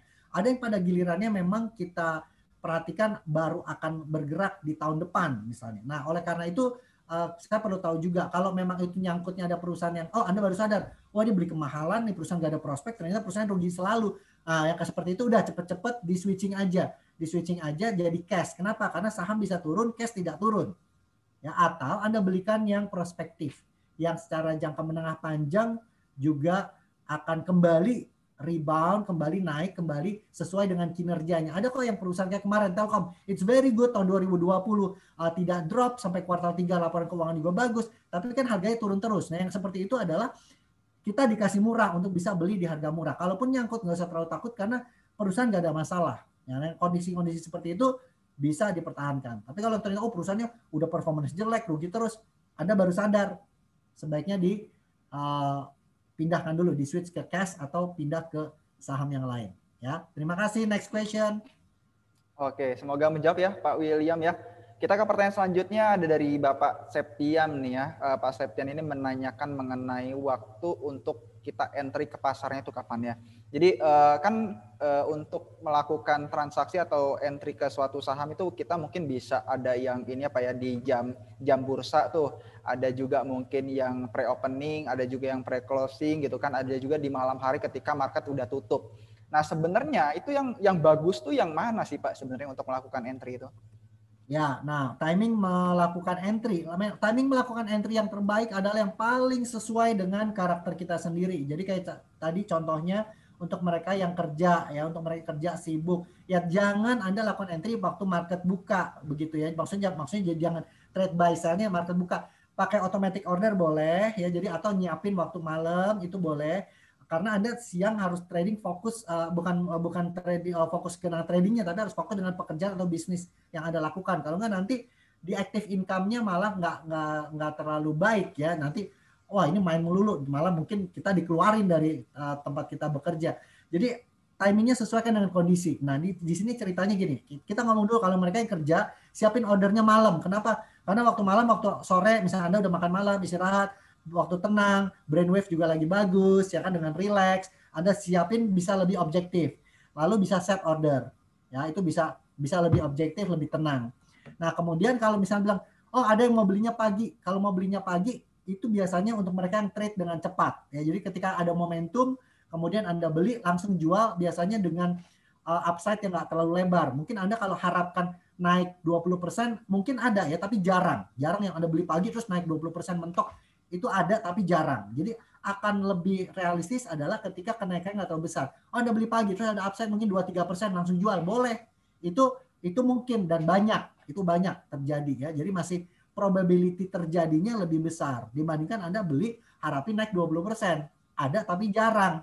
Jadi kalau kejadian ya beruntung kalau nggak kejadian ya salah sendiri gitu lo harapinnya kalau kejadian kurang realistis ya jadi kalau yang beli pagi gitu nah kalau yang beli sore ini lebih profesional ya. Biasanya kenapa bagi mereka yang sudah lebih matang dan udah lebih profesional itu biasa ngelihatnya sore. Kenapa seharian? Seharian itu kena sentimen pagi, kena sentimen siang, kena sentimen sore, menjelang ke pembukaan uh, Eropa atau udah melihat Dow Futures uh, Amerika market Amerika uh, bagus apa enggak baru sore menjelang penutupan baru ambil posisi uh, pergerakan harga candlestick atau bar chartnya juga udah cukup matang oh memang ini cukup kuat misalnya ada upside breakoutnya confirm nah itu baru beli nah itu biasanya paling common mereka yang cukup matang di perdagangan saham itu uh, belinya sore ya jualnya entah kalau yang cepat ya jualnya mungkin besoknya atau bisa Uh, tiga hari sampai 10 hari ke depan untuk satu swing trading.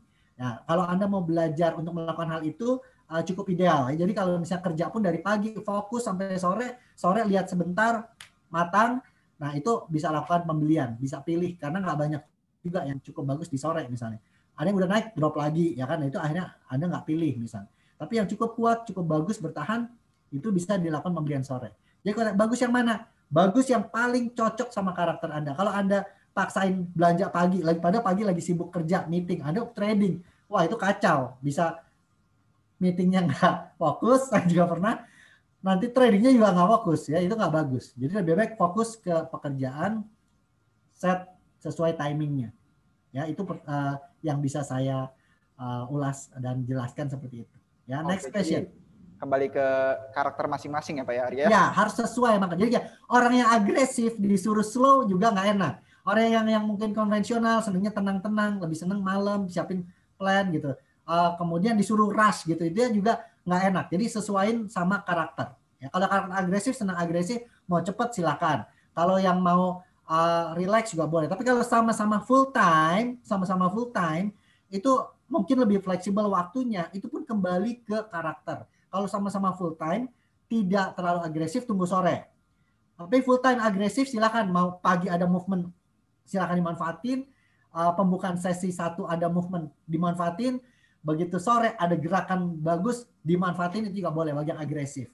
Ya, jadi sesuai nama karakter kita. Ya, thank you. Next question. Oke. Okay. Jadi kalau karakter saya sih Pak, saya sih lebih enak nunggu market close dulu Pak. Jadi nah. uh, harga itu udah confirm ada di mana apakah dia benar-benar udah tembus resistennya atau enggak gitu kan. Udah ya. confirm. Kalau Pak Arya sendiri gimana nih Pak? lebih ya, enak. Kalau saya juga saya lebih suka karena ada banyak kegiatan lain, saya nggak terlalu agresif nongkrongin di depan layar kecuali pas saya lagi lowong, tidak ada tugas, nggak ada meeting, relax. Nah kemudian ada kesempatan itu bisa juga aktif uh, ngeliatin price movement real time. Ya, tapi karena banyak kegiatan lain, uh, biasa saya bisa pakai set order otomatis atau ya saya cenderung ngambilnya sore sih. Sore ketika market udah kelihatan, sentimennya udah jelas, Uh, walaupun tetap ada resiko ya berubah di malam, tapi uh, saya kebanyakan ngambilnya posisinya di sore hari. Oke, oke, oke. Oke, terima kasih Pak Arya. Itu tadi pertanyaan pertama dari Pak Septian. Ya. Uh, Pak Arya, ini ada pertanyaan kedua dari Pak Septian, nggak kalah menarik juga nih Pak. Hmm. Uh, Pak Septian ini bertanya mengenai entry posisinya juga eh, kan misalkan kita udah tahu nih Pak ya trading kita kita mau entry di mana. Nah, kalau mengacu kepada posisi di order booknya sendiri itu kita lebih baik uh, pilih di posisi over atau hajar kanan atau mungkin ngantri dulu di bid atau mungkin uh, di posisi tik-tik tertentu. Jadi mungkin kondisi apa sih yang sebenarnya atau alasan apa sih yang memungkinkan kita membeli suatu saham di over atau di bid atau di tik keberapa gitu. Oh ya, oke. Okay. Jadi gini, uh, misalnya Anda membeli dengan punya plan ya, plan di harga sekian gitu karena udah diperhitungkan misal oh retracementnya di level sini atau kalau buy on weakness kemungkinan pelemahannya sampai sekian. Itu masukin bid aja dulu ya, masukin bid dulu. Uh, tidak usah pakai market price. Kenapa? Karena market price bisa aja masih bergerak bergerak dalam satu harian mungkin saja yang Anda plan itu tercapai. Jadi masukin bid dulu. Ya, nanti waktu seharian dia mungkin menyentuh, mungkin enggak. Tapi ketika Anda harus membeli di hari itu, karena orang itu ada yang kayak gitu ya, karena entah di institusi ataupun kita pribadi, saya plan maunya belinya hari ini, berapapun harganya. Nah itu nanti menjelang sore, silakan pindahin ke market price, langsung hajar kanan, yang ada di offer langsung dibeli misalnya, itu boleh. Ya, tapi sebaiknya kalau menurut saya uh, biasa kalau kita pakai plan kita masukin ke ke bid dulu aja, ya mungkin kena bisa dapat harga lebih bagus. Biasanya orang uh, hitungnya kalau yang fundamental itu biasa kan pakai uh, dihitung margin of safety terus mau masukin di harga berapa berapa berapa itu selalu di bid dulu. Ya kalau misalnya di harga karena kita mau dapat harga lebih murah biasanya begitu. Tapi ketika misalnya harga sedang naik, ya ketika harga sedang naik ada momentum, Anda mau ikut jump in, ya itu jangan bid. kalau bid itu udah pasti salah. Kenapa? Karena ketika Anda mau jump in satu momentum naik, itu kan Anda harap Anda beli langsung naik lagi. Ya berarti Anda mau riding uh, ombak naiknya. Nah, kalau Anda bid, berarti Anda kan harap uh, sekarang berturun, udah berubah. Berubah momentumnya. Momentum jadi momentum naik, Anda harap turun dulu. Nah, kalau momentumnya udah uh, jadi momentum turun, dapat harga di harga yang kita bid, mungkin sekarang bukan lagi uptrend, tapi lagi downtrend dalam jangka waktu pendek. Gitu ya. Jadi ketika Anda maunya riding momentum, itu langsung beli di market price. Oh ini lagi naik nih, langsung buy. Nah kemudian terjadi upside mungkin satu persen, dua persen, tiga persen. Kalau jangka pendek Anda cuma cari tiga persen sampai lima persen ya udah siap-siap sell. Masih masih ada upside ya tahan ya. Tapi ketika udah ragu-ragu naiknya ya itu langsung sell aja. Itu karena lagi riding momentum cuma untuk dapat jangka pendek misalnya. Karena anyway 3% itu very good enough dibandingkan Anda deposito setahun juga tiga persen sekarang. Ya kan nunggu setahun loh. Ini cuma misalnya dalam waktu satu hari udah dapat tiga persen gitu. Jadi kalau bagi yang jangka pendek tiga persen udah bagus gitu ya. Nah itu langsung jump in aja kalau ngambil momentum. Tapi kalau cuma mau relax relax, dapat boleh, nggak dapat juga besok juga nggak apa-apa. Ya itu bid, tunggu di bid nggak apa-apa. Ya apalagi ketika misalnya dari hari ke hari harga lagi turun, turun, turun, nah itu bid aja. Ya, tapi ketika harga dari hari ke hari lagi naik, naik, naik closingnya, Anda selalu bid ya, Anda selalu ketinggalan. Dapatnya kapan? Nanti ketika harga udah naik, naik, naik, capek naik, dia berubah dari drop, baru Anda dapat. Waktu Anda dapat itu sudah siklusnya siklus drop. Ya mungkin tiga hari atau lima hari turun. Waktu turun lima hari itu lima hari kan seminggu. Nah waktu turun seminggu Anda udah stres ya kan. Jadi wah ini udah turun nih siklusnya gitu. Ya, jadi caranya gitu. Oke, Waktu jadi lagi-lagi Anda mau nunggu santai silahkan dibit, tapi kalau mau uh, ikut momentum langsung market price. Oke, jadi lagi-lagi harus menyesuaikan dengan kondisi market ya, Pak ya. Iya, kalau market kan kita berasa tuh kalau kita ngomong market breadth itu uh, ngitung dari berapa berapa uh, saham yang naik dan saham yang turun dibanding. Apalagi mereka yang udah sering uh, trading di pasar modal itu kelihatan nih oh hari-hari ini lagi kebanyakan naik atau hari-hari ini lagi kebanyakan yang turun. Nah kalau lagi nuansa banyak yang naik lagi bullish anginnya lagi ang angin naik itu kalau ada kebanyakan nunggu-nunggu nunggu bid kadang-kadang ketinggalan. Kapan? Nanti dapatnya nanti ketika angin anginnya berbalik udah balik berbalik angin turun nah baru dapat nah waktu aku dapat itu nggak ada upside gitu. Itu udah lain cerita. Jadi kalau lagi mau naik momentum ya udah beli aja. Anyway beda dikit. Kadang-kadang cuma 675 5675 sama 5650 beda 25 rupiah. Apalagi belinya kalau nggak banyak ya kan? Itu nggak terlalu signifikan. Ya. dibandingkan misal oh Anda udah hitung upside-nya ke 6000 misal atau ke 6500 daripada nggak dapat ya udahlah beda sedikit menurut saya nggak usah terlalu nggak usah terlalu jadi masalah begitu ya. Oke, terima kasih. Next question. Oke, semoga menjawab ya Pak Septian ya. Kita ke pertanyaan selanjutnya ada dari Bapak Renal ya. Ada dari Bapak Renal ini bertanya mengenai indikator yang digunakan ya. Uh, Pak Renal bertanya, apakah cukup jika uh, menggunakan Fibonacci retracement ya atau bagaimana? Atau mungkin uh, Pak Arya boleh kasih masukan nih kira-kira bagaimana sih menggunakan atau berapa indikator yang digunakan uh, dengan bijak ya Pak? Kira-kira kita bijaknya menggunakan indikator berapa banyak gitu ya? Karena kan indikator banyak Pak, apalagi ya. di aplikasi iPod yang di mobile itu ada lebih dari 50 indikator tuh. Ya, bagus banget ya. Nah jadi uh, indikator kita nggak usah uh, terlalu banyak karena uh, banyak yang fungsinya sama. Ya, jadi indikator itu dikelompokkan uh, besar itu yang dua kelompok besar adalah yang trend following sama yang satu lagi yang momentum. Ada lagi sebenarnya bisa ngitung volatilitas ya. Jadi uh, menurut saya nggak usah kita misalnya pakai 5 atau 10 indikator nanti bingung kenapa karena yang satu nunjukin buy, satu nunjukin sell, kita pusing sendiri ya. Jadi nomor satu adalah um, kalau mau pakai uh, indikator adalah uh, melihat dulu kita mau cari apa. Kalau kita mau lihat nih uh, ini trennya lagi apa ya, kita pakai moving average itu kelihatan tuh trennya apa atau pakai MACD untuk lihat uh, untuk trend following indikatornya. Nah, untuk lihat momentum bisa pakai stokastik misalnya. Nah, kalau uh, untuk Fibonacci retracement itu bukan indikator untuk lihat momentum, bukan untuk lihat trend following, itu cuma untuk melihat di level-level mana support atau resistennya. Jadi ketika Anda melihat satu swing naik, misalnya harga naik dari 5000 dari 5000 ke 6000 itu satu swing 1000 kan. Nah, 1000 itu kemudian pada saat dia retrace sementara uh, berapa persen. Nah, itu bisa lihat tuh berapa persen-persen itu retracement level. Nah, itu untuk memperkirakan sampai mana sih harga turun. Tapi ketika Anda mau lihat naik baliknya, Anda bisa cek candlestick pattern-nya, Anda bisa lihat momentum stokastiknya, keluar nggak dari oversold area naik ke keluar oversold misalnya. Ada momentum uh, naik dari bawah 20 ke atas 20. Nah, itu berarti sinyal buy. Jadi indikator paling pakai dua buah aja udah cukup. Dua dua buah udah cukup kalau Anda mau tambahin satu lagi oke. Okay. Lebih dari tiga menurut saya udah udah uh, agak eksesif ya, agak berlebihan, malah mungkin Anda bingung gitu. Jadi cukup satu mewakili momentum, satu mewakili uh, trend following, satu lagi paling untuk volatilitas atau yaitu batas support resistance udah cukup.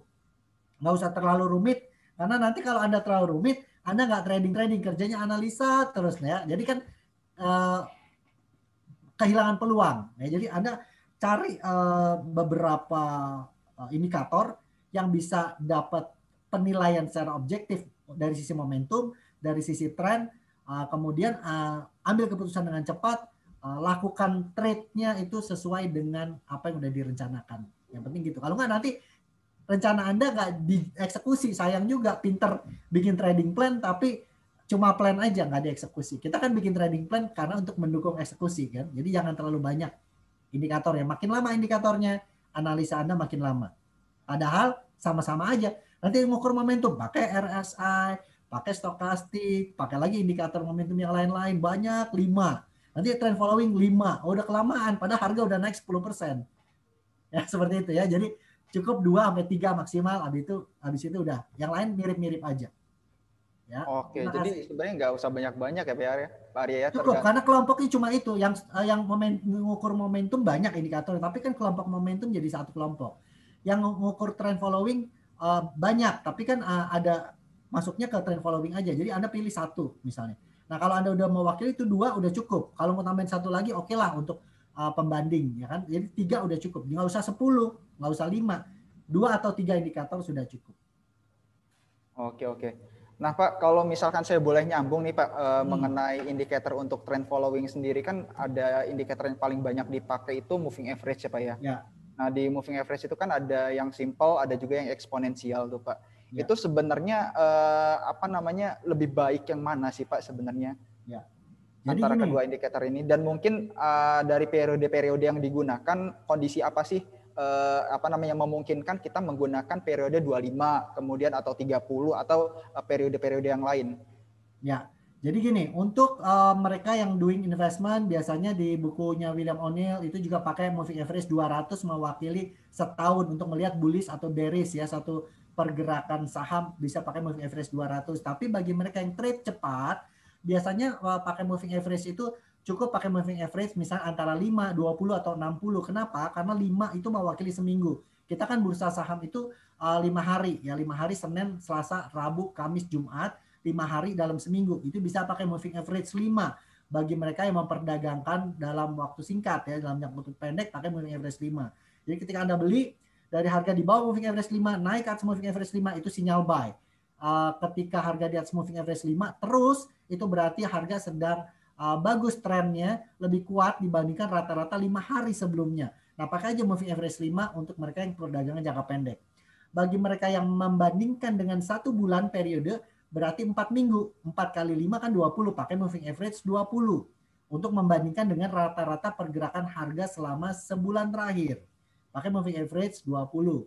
Nah, bagi yang mau membandingkan selama satu kuartal terakhir, pakailah moving average yang 60. Karena 20 sebulan, berarti selama 3 bulan itu 60, MA 60. Nah, jadi Anda bisa pakai 5, 20, dan 60.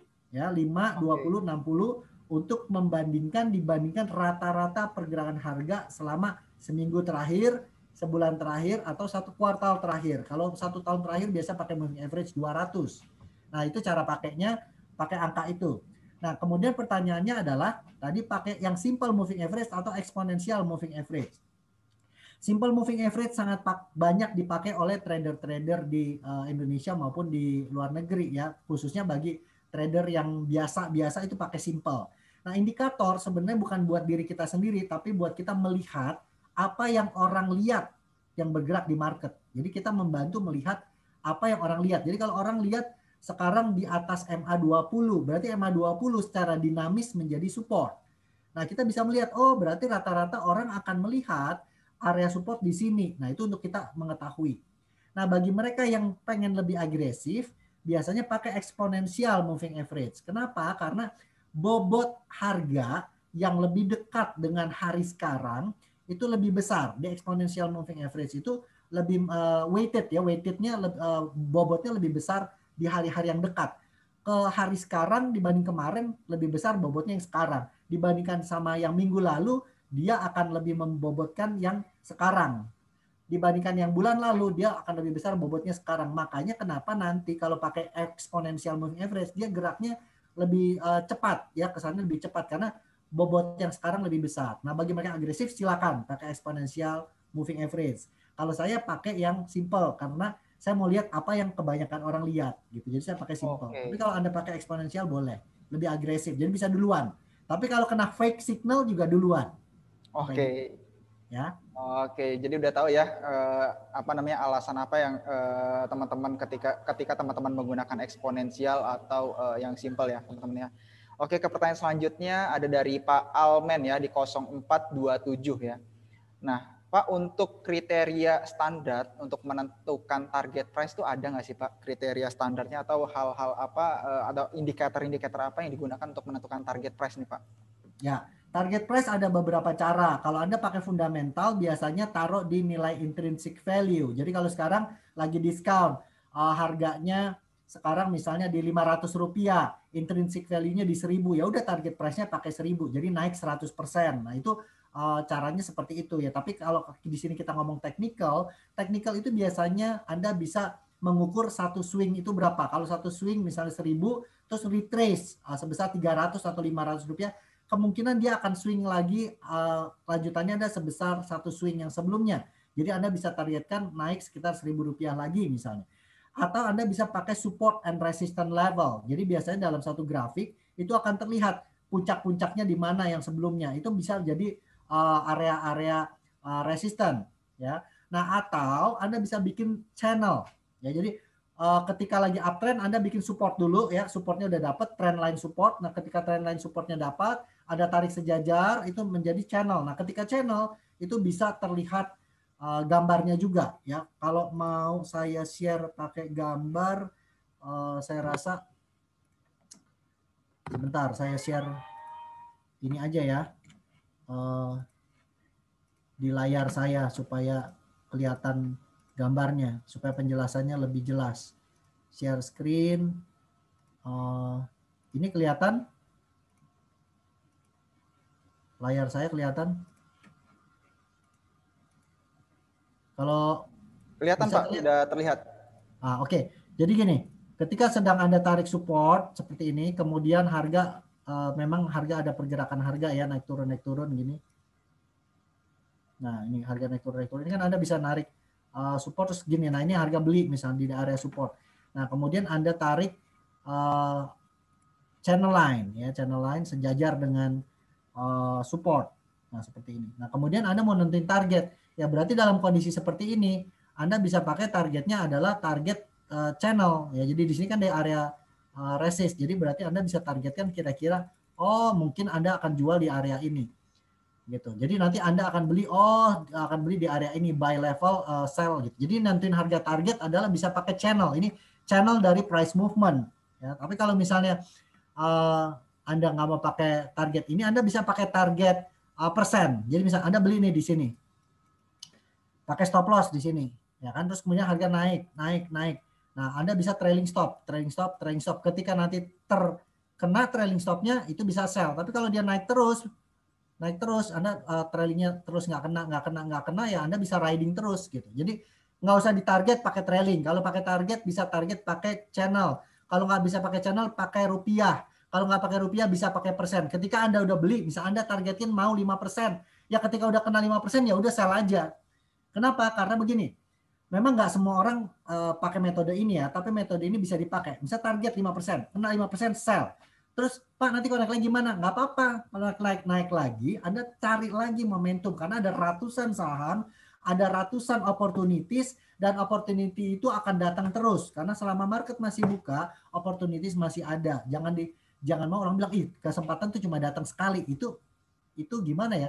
Itu cuma semacam uh, istilah, istilah karena ada satu opportunity tertentu yang jarang bisa datang berulang-ulang. Kalau di bursa saham, di perdagangan, uh, di instrumen keuangan itu opportunitiesnya banyak. Ya, jadi kalau misalnya, oh udah naik 5%, Anda mau sell nih, karena Anda udah udah stres nih. Kalau nggak sell mungkin stres uh, terganggu pikiran. Ya jual aja. Hidup anda tenang anda happy naik turun harga akan selalu ada. Ya jadi nggak usah khawatir. Ini yang ini yang sering kali jadi polemik karena orang bilang sayang dong naik terus ya daripada hidup hidup lo nggak bahagia mikirin ini udah lima persen bagi anda udah cukup tapi anda stres mikirinnya jual aja nggak apa-apa ya jadi jangan khawatir nah kalau anda sudah bisa lakukan satu trading setup naik lima persen dan berhasil untung berarti Anda bisa lakukan uh, dua kali, tiga kali, empat kali, dan seterusnya. Nah kalau sekali udah berhasil, Anda lakukan 10 kali berarti 50 persen. 5 persen 10 kali. Seperti itu. Ya, jadi jangan terlalu terpatok juga sama teori-teori yang mengatakan, oh ini pasti ke channelnya. Belum tentu, belum tentu ke resistant channel. Ada kelihatan rapi banget. Giliran Anda beli nggak ke resistant channel, dia balik-balik arah. Mungkin nggak? Mungkin kan gitu. Jadi itu cuma plan, kita lakukan, makanya siapin stop loss, siapin trailing stop. Kalau nggak tercapai, terkena trailing stop, tetap profit. Cuma profitnya nggak sesuai target. Ya, tapi nentuin target. Bisa tadi pakai swing, bisa pakai channel, banyak cara. Nanti di sesi-sesi spesifik analisis dan uh, apa setting-setting target, nanti kita boleh bahas lebih detail. Ya, terima kasih.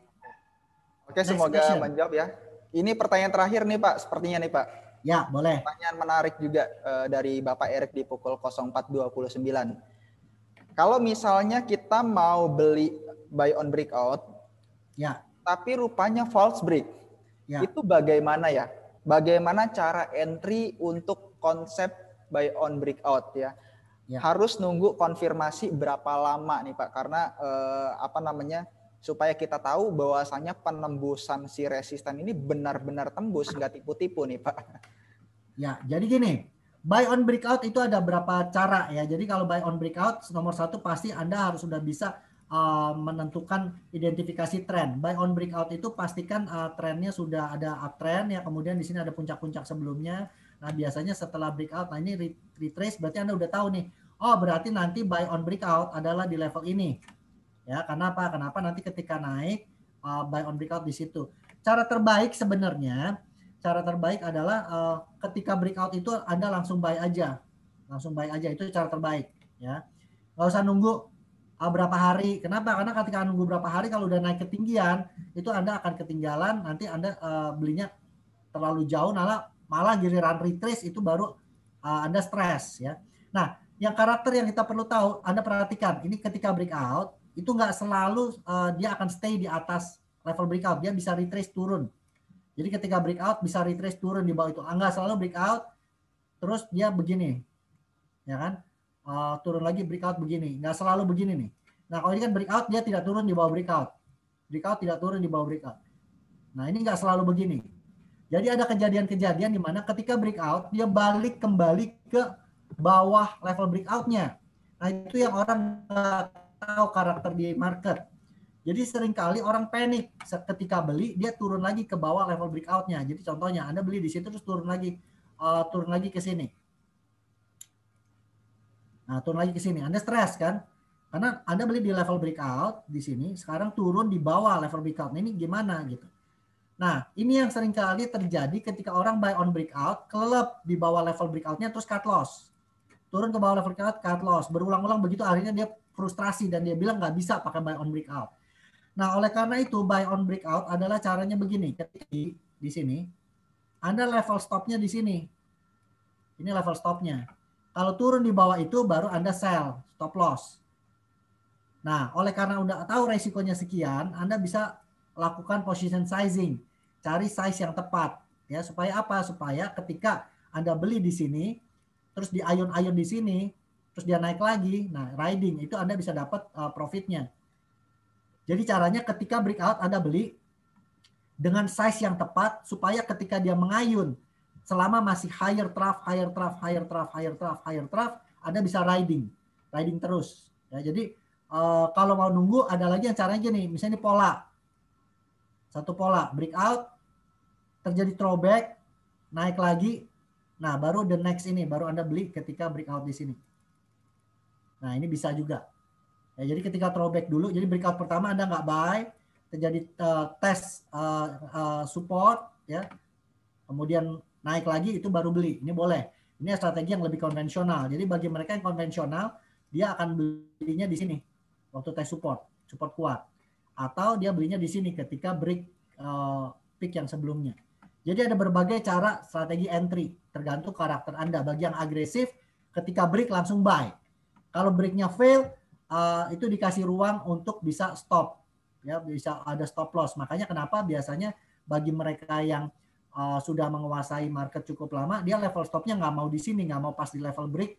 Begitu break batal langsung sell enggak, dia akan cari yang di trough yang sebelumnya. Makanya ada ruang di situ untuk terjadi gerakan naik turun. Makanya size jangan terlalu besar ya diatur supaya kerugiannya tidak dalam. Nah, ini karakter ini sering terjadi. Hati-hati, pastikan Anda tidak terjebak atau panik di level sini sebelum dia naik lagi. Ya, jadi kalau ngomong berapa hari, eh, rata-rata dalam waktu tiga hari itu udah udah valid break. Kalau dalam tiga hari uh, belum running itu biasanya ada yang agresif dia langsung pindahkan ke uh, yang breakout lain ya kalau buy on breakout. Tapi bagi mereka yang agak sabar, kalau belum kena stop lossnya ya tunggu aja. Apalagi trennya lagi tren naik. Ya, itu yang bisa saya sampaikan. Semoga membantu. Oke, terima kasih banyak Pak Arya atas uh, penyampaian dan juga jawabannya. Itu adalah pertanyaan terakhir ya Sobat Ipot ya. Jadi untuk pertanyaan-pertanyaan Sobat Ipot yang belum terjawab, mohon maaf ya. Mungkin bisa ikuti webinar kita selanjutnya karena juga uh, nanti juga uh, di periode-periode ke depannya kita juga mungkin akan mengundang Pak Arya Santoso lagi karena Pak Arya Santoso ini juga udah beberapa kali yang ngisi di Indo Premier Sekuritas ya Pak ya. Ya. Oke, okay. nah kita akan masuk ke sesi yang ditunggu-tunggu nih ya. Kita akan masuk ke sesi door price nih. Uh, mungkin Mantap. Uh, Mas Admin boleh ditampilkan door price-nya? Nah, door price-nya apa? Kira-kira uh, ini adalah persyaratannya. Pertama, jadi besok silahkan teman-teman Sobat Ipot bertransaksi ya di H plus 1 atau besok 1 juta rupiah dengan statusnya itu full match ya. Kemudian 10 orang yang beruntung itu akan mendapatkan 100 ribu rupiah ya. Caranya adalah caranya gimana? Caranya adalah silakan teman-teman ya dari bukti uh, dari transaksi tersebut silakan di capture. Kemudian capture-nya itu silakan teman-teman kirim ke email indopremier.event@ipc.co.id dengan subjeknya quiz webinar trading plan 20 November 2020 dan jangan lupa di body emailnya dilengkapi dengan nama lengkap, email dan juga nomor telepon ya teman-teman ya. Untuk cut off time pengirimannya itu adalah pukul 11.30 waktu Indonesia Barat dan hanya peserta yang memenuhi tiga poin kriteria di atas yang akan menjadi pemenang. Hanya pemenang yang akan diemailkan oleh tim dan maksimal diumumkan H plus 3 setelah webinar ya. Nah, eh, Sobat Ipot, itu adalah eh, beberapa persyaratan yang mungkin teman-teman uh, bisa ikuti untuk mendapatkan door prize-nya ya. Nah, kemudian uh, setelah ini akan ada polling ya, teman-teman silahkan teman-teman uh, isi pollingnya ini tentunya untuk kebaikan dan kualitas webinar kita ke depannya ya, teman-teman ya. Nah, sambil menunggu polling mungkin uh, Pak Arya boleh kasih conclusion ya untuk sobat ipot uh, ke depannya supaya mungkin bisa memaksimalkan trading plan-nya nih, Pak. Ya, untuk teman-teman semua, terima kasih yang udah join hari ini. Semoga bisa bermanfaat ya. Jadi uh, perhatikan lagi bagi mereka yang sudah tahu ini bisa di-refresh, dicatat uh, baik-baik uh, bahwa kita perlu perhatikan komponen-komponen dari trading plan itu kita siapin uh, entry ya, entry plan uh, di mana apakah Anda mau pakai technical fundamental silakan mau call mau pakai cost averaging, apakah Anda mau ada trigger pakai golden cross, mau pakai indikator, mau pakai buy on breakout, ya itu bisa dipakai di entry. Exit tadi saya udah kasih ada empat ya bisa pakai siapin stop loss jadi bisa aja karena nggak jadi naik kita mesti batasi kerugian. Bisa exitnya pakai trailing bisa exitnya pakai target price atau bisa pakai gradual exit ya. Itu kesimpulannya. Kemudian jangan lupa position sizing itu juga penting di trading plan. Banyak yang lupa bahwa dia nggak hitung mau masuknya berapa. Pokoknya masuk aja sebanyak banyaknya Nah itu nanti uh, secara jangka panjang bisa jadi masalah ya. Karena makanya kenapa ada nggak survive, nggak jangka panjang nggak bisa uh, terus berkembang atau tradingnya akhirnya kapok ya karena oh kok rugi ruginya juga besar gitu kebesaran itu karena lupa di position uh, sizing ya. Jadi ingat semua komponen itu dari bagaimana menentukan uh, entry, exit, kemudian juga position sizing dan pilihan sahamnya supaya uh, Anda bisa memilih di kolam yang baik ya. Jadi nggak stock universe yang Anda pilih nggak usah semua yang 800. Tadi ada yang tanya juga gimana dari 800 itu uh, menurut saya jangan 800 pisahin dulu yang seperti saya bilang. Yang sesuai kriteria yang manageable risk itu yang Anda uh, uh, perdagangkan ya. Yang selebihnya pisahin dulu supaya resiko lebih terukur ya. Jadi uh, komponen-komponen ini akan membantu anda bisa survive dan bisa uh, bertahan atau bahkan bisa dapat kinerja yang lebih baik. Ya harapan saya bisa dilakukan apa yang sudah kita bahas hari ini. Semoga bermanfaat uh, bisa semakin baik analisisnya semakin baik strateginya semakin baik eksekusinya dan performance tradingnya kinerjanya juga semakin baik Ya, good luck buat teman-teman semua. Sampai ketemu di sesi selanjutnya. Oke, terima kasih uh, sekali lagi untuk Pak Arya Santoso sudah sharing mengenai trading plan di Indo Premier Sekuritas ya. Uh, saya ingin mengingatkan kembali bahwasanya silakan teman-teman ya besok lusa ya karena besok minggu ya besok maksudnya hari Senin besok lusa silakan teman-teman bertransaksi ya minimal satu juta rupiah untuk dapetin door prize 100 ribu ya 10 untuk 10 orang yang beruntung kemudian capture bukti Transaksinya kirim ke indopremier.event.itpc.co.id dengan subjeknya quiz webinar trading plan 20 November 2020 di body email lengkapi dengan nama lengkap, email dan juga nomor telepon ya. Untuk cut off time-nya itu pukul 11.30 waktu Indonesia Barat hanya peserta yang memenuhi tiga poin kriteria di atas yang akan menjadi pemenang dan hanya pemenang yang akan diemailkan oleh tim dan maksimal diumumkan H 3 setelah webinar berlangsung ya. Nah itu adalah persyaratan untuk dapetin door prize ya teman-teman ya. Oke, uh, sekali lagi saya ucapkan terima kasih untuk Pak Arya Sonto sudah sharing di Indo Premier Sekuritas ya. Uh, saya Imam Gunadi, investment spesialis dari Indo Premier sebagai moderator pamit undur diri. Jika ada salah kata tolong dimaafkan. Sampai jumpa di webinar Indo Premier selanjutnya. Happy learning, happy investing. Bye bye. Terima kasih. Terima kasih Pak Imam, sampai jumpa. Terima kasih Pak Arya, Pak Arya Santoso, sampai jumpa.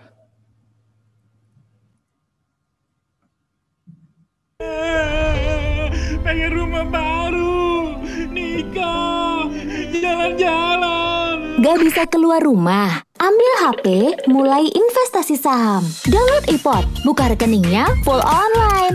Yang masih newbie, diajarin sampai jago. Mau beli, jual, cek hasil, semuanya gampang. Nah, sekarang mimpinya udah mulai kelihatan kan? Biar nggak repot, pakai iPod.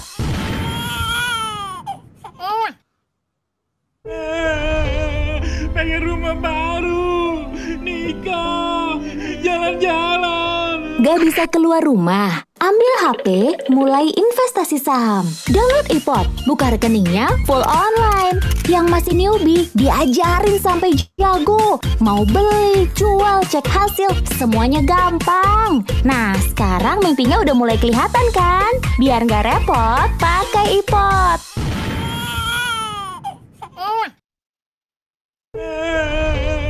pengen rumah baru, nikah, jalan-jalan. Gak bisa keluar rumah? Ambil HP, mulai investasi saham. Download iPod, buka rekeningnya full online. Yang masih newbie, diajarin sampai jago. Mau beli, jual, cek hasil, semuanya gampang. Nah, sekarang mimpinya udah mulai kelihatan kan? Biar nggak repot, pakai iPod.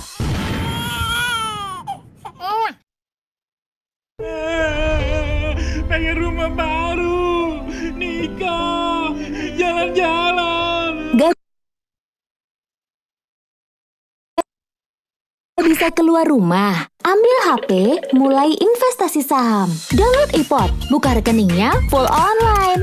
Yang masih newbie, diajarin sampai jago. Mau beli, jual, cek hasil, semuanya gampang. Nah, sekarang mimpinya udah mulai kelihatan kan? Biar nggak repot, pakai iPod.